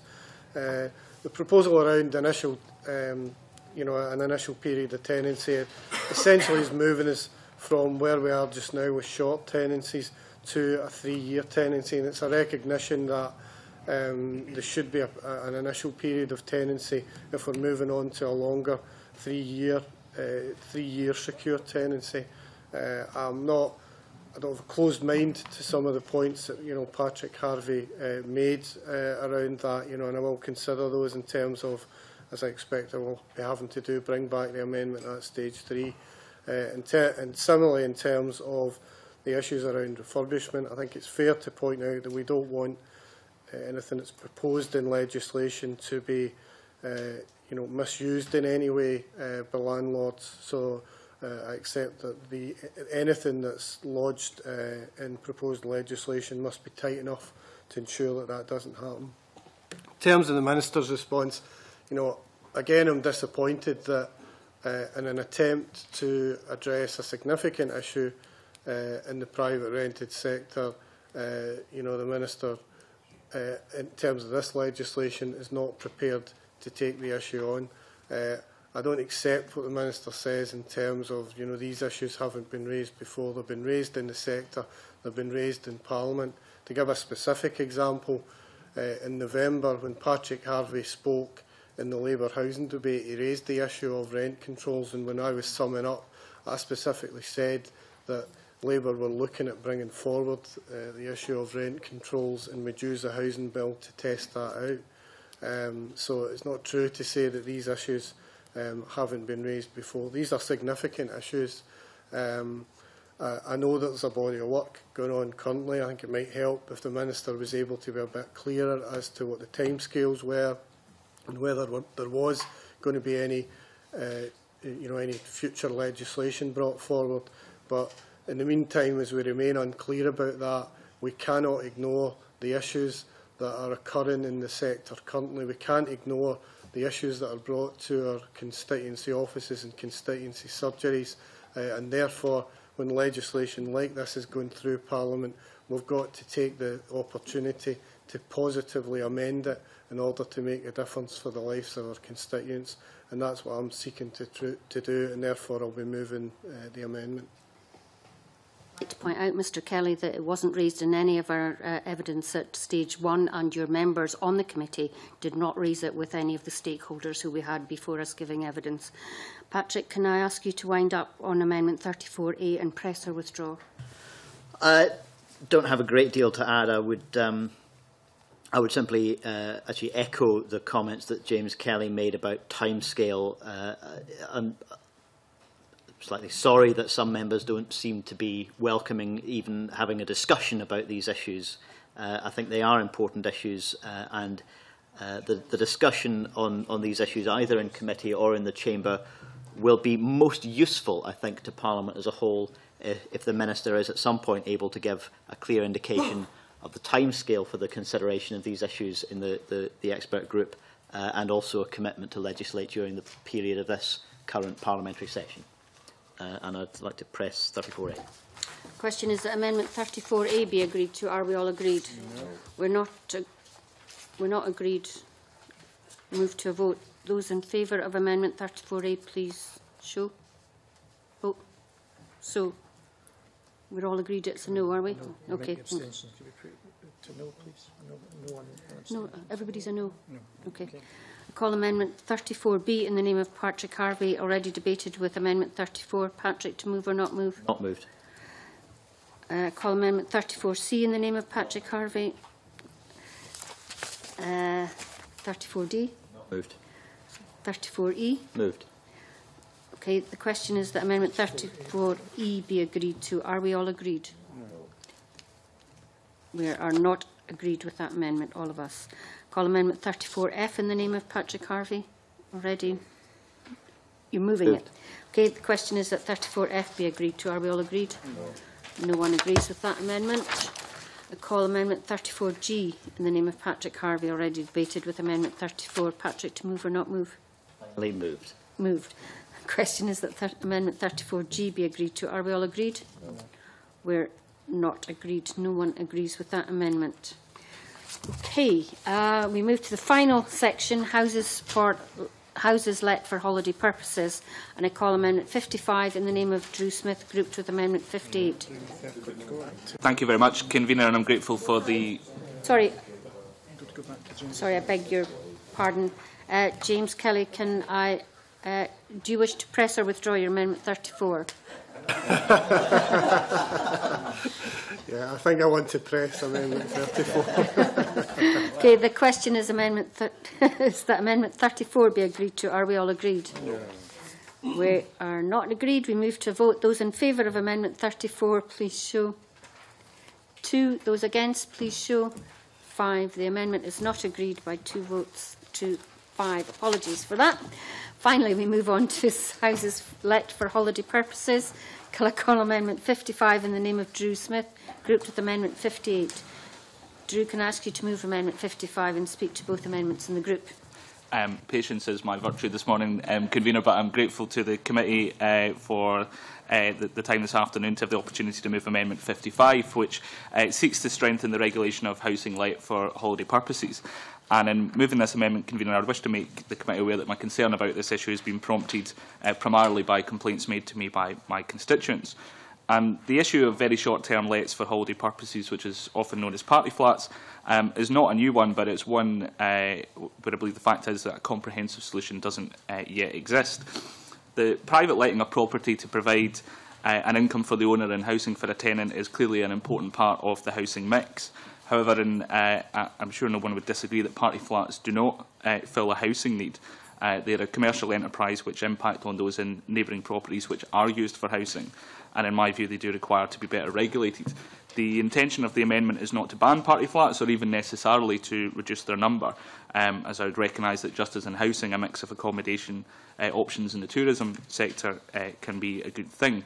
But the simple effect of my Amendment 55 is to build on the minimal regulation which currently exists by extending closure powers over party flats in circumstances where no other resolution has been arrived at and where it is recognised that noise nuisance, uh, antisocial behaviour or other inappropriate activities taking place regularly and which quite simply is making the lives of the neighbours around um, that property a living hell. The power of closure currently resides uh, with the police and I'm not proposing to remove uh, the power from the police but only to extend it uh, to local authorities. In my experience in Glasgow, the local authority is aware of the problems um, caused and adopts a multi-agency approach to seeking to provide respite and a correction to inappropriate use, which gives those living around party flats their lives back uh, and returns to them the basic rights to live in and enjoy their home.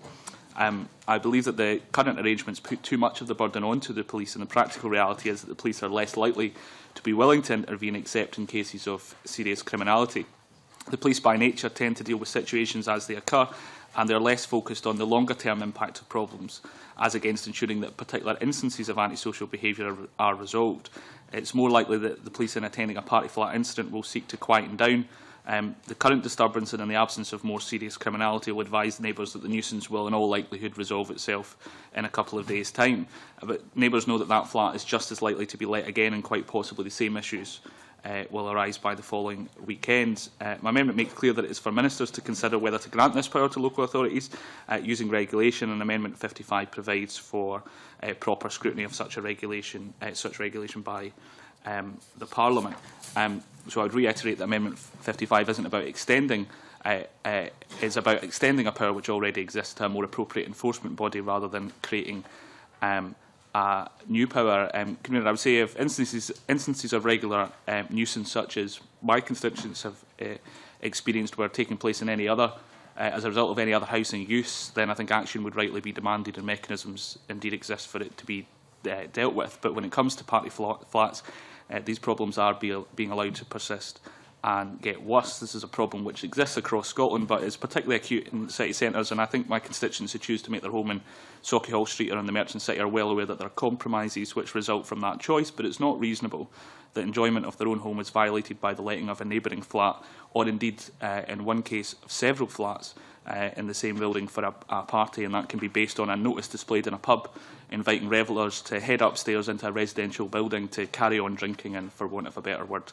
um, partying. So I hope that members will uh, consider these issues in deciding whether or not to support um, this amendment today. And if the, the Minister is not willing to do so, I would hope that in her contribution she would lay out a suggested way forward which represents uh, a suitably strong and speedy alternative to amending this bill. And I know that uh, my constituents who have contacted me would certainly very much welcome uh, the opportunity to, to um, uh, to make uh, parliamentarians further aware of the issues they face. Anyone else wish to contribute? Minister. I certainly understand the problems that can be caused by antisocial behaviour uh, in properties that are let on a short-term basis, but I don't believe the provisions proposed by, uh, proposed by Amendment 55 are necessary. Legislation is already in place to enable local authorities to tackle the issue of antisocial behaviour in properties let for holiday purpose, purposes. For example, under Part 7 of the Antisocial Behaviour, etc. Scotland Act 2004, local authorities have powers to serve antisocial behaviour notices on private landlord where an occupant or visitor engages in antisocial behaviour at or in the locality of the house. In addition, in March 2011, the Scottish Government brought forward an order that deals specifically with the problem of antisocial behaviour in properties let for holiday use or so-called party flats. In a landmark case last year, the City of Edinburgh Council successfully used the existing legislation to apply for a management control order for two-party flats in, in Grove Street. And since then, the Council has assumed all landlord responsibilities, thereby helping to improve the quality of life for residents previously affected by antisocial behaviour. I don't believe that Amendment 55 will provide any additional benefits in terms of tackling antisocial behaviour in holiday lets, and, and I would invite Mr Smith to withdraw Amendment 45, 55 and not move his consequential Amendment 58 and I ask Drew to uh, wind up and press or withdraw his amendment. Um, uh, thank you, Convener. I won't uh, take up more of the committee's time. I'll say I am disappointed that um, in offering the opportunity of the Minister to um, consider the issues, issues further that she uh, hasn't taken that and I'm sure that my constituents will be disappointed because the fact is that the current um, provisions which exist uh, are not uh, providing the resolution um, that she talks about. And while the resolution has been possible in cases where landlords are willing to engage with the uh, system of regulation as it exists, then uh, the, the, uh, where the landlord is not willing um, to engage in that process, resolution has not been possible for uh, certainly a number of people in my city. And I would have hoped um, that the Minister could at the very least have um, uh, offered to consider an alternate uh, route to resolving this issue um, through this bill. So I would intend um, to press the amendment. The question is that Amendment 55 be agreed to. Are we all agreed? No. We're not agreed. We move to a vote. Those in favour of Amendment 55, please show. Three. Those against, please show. Four. The amendment is defeated by four votes to three. That ends consideration of amendments. Can I thank everyone for their cooperation and patience? Um, that concludes the committee's day one consideration of the Housing Scotland Bill at stage two. Committee's consideration will continue next week and I propose that we go no further than the end of part five on day two. That means that the deadline for lodging any amendments to the sections of the bill from where we have ended up today until the end of part five is 12 noon on Friday the 16th of May. And I suspend the meeting to allow witnesses to leave the room and to move into private session as previously agreed.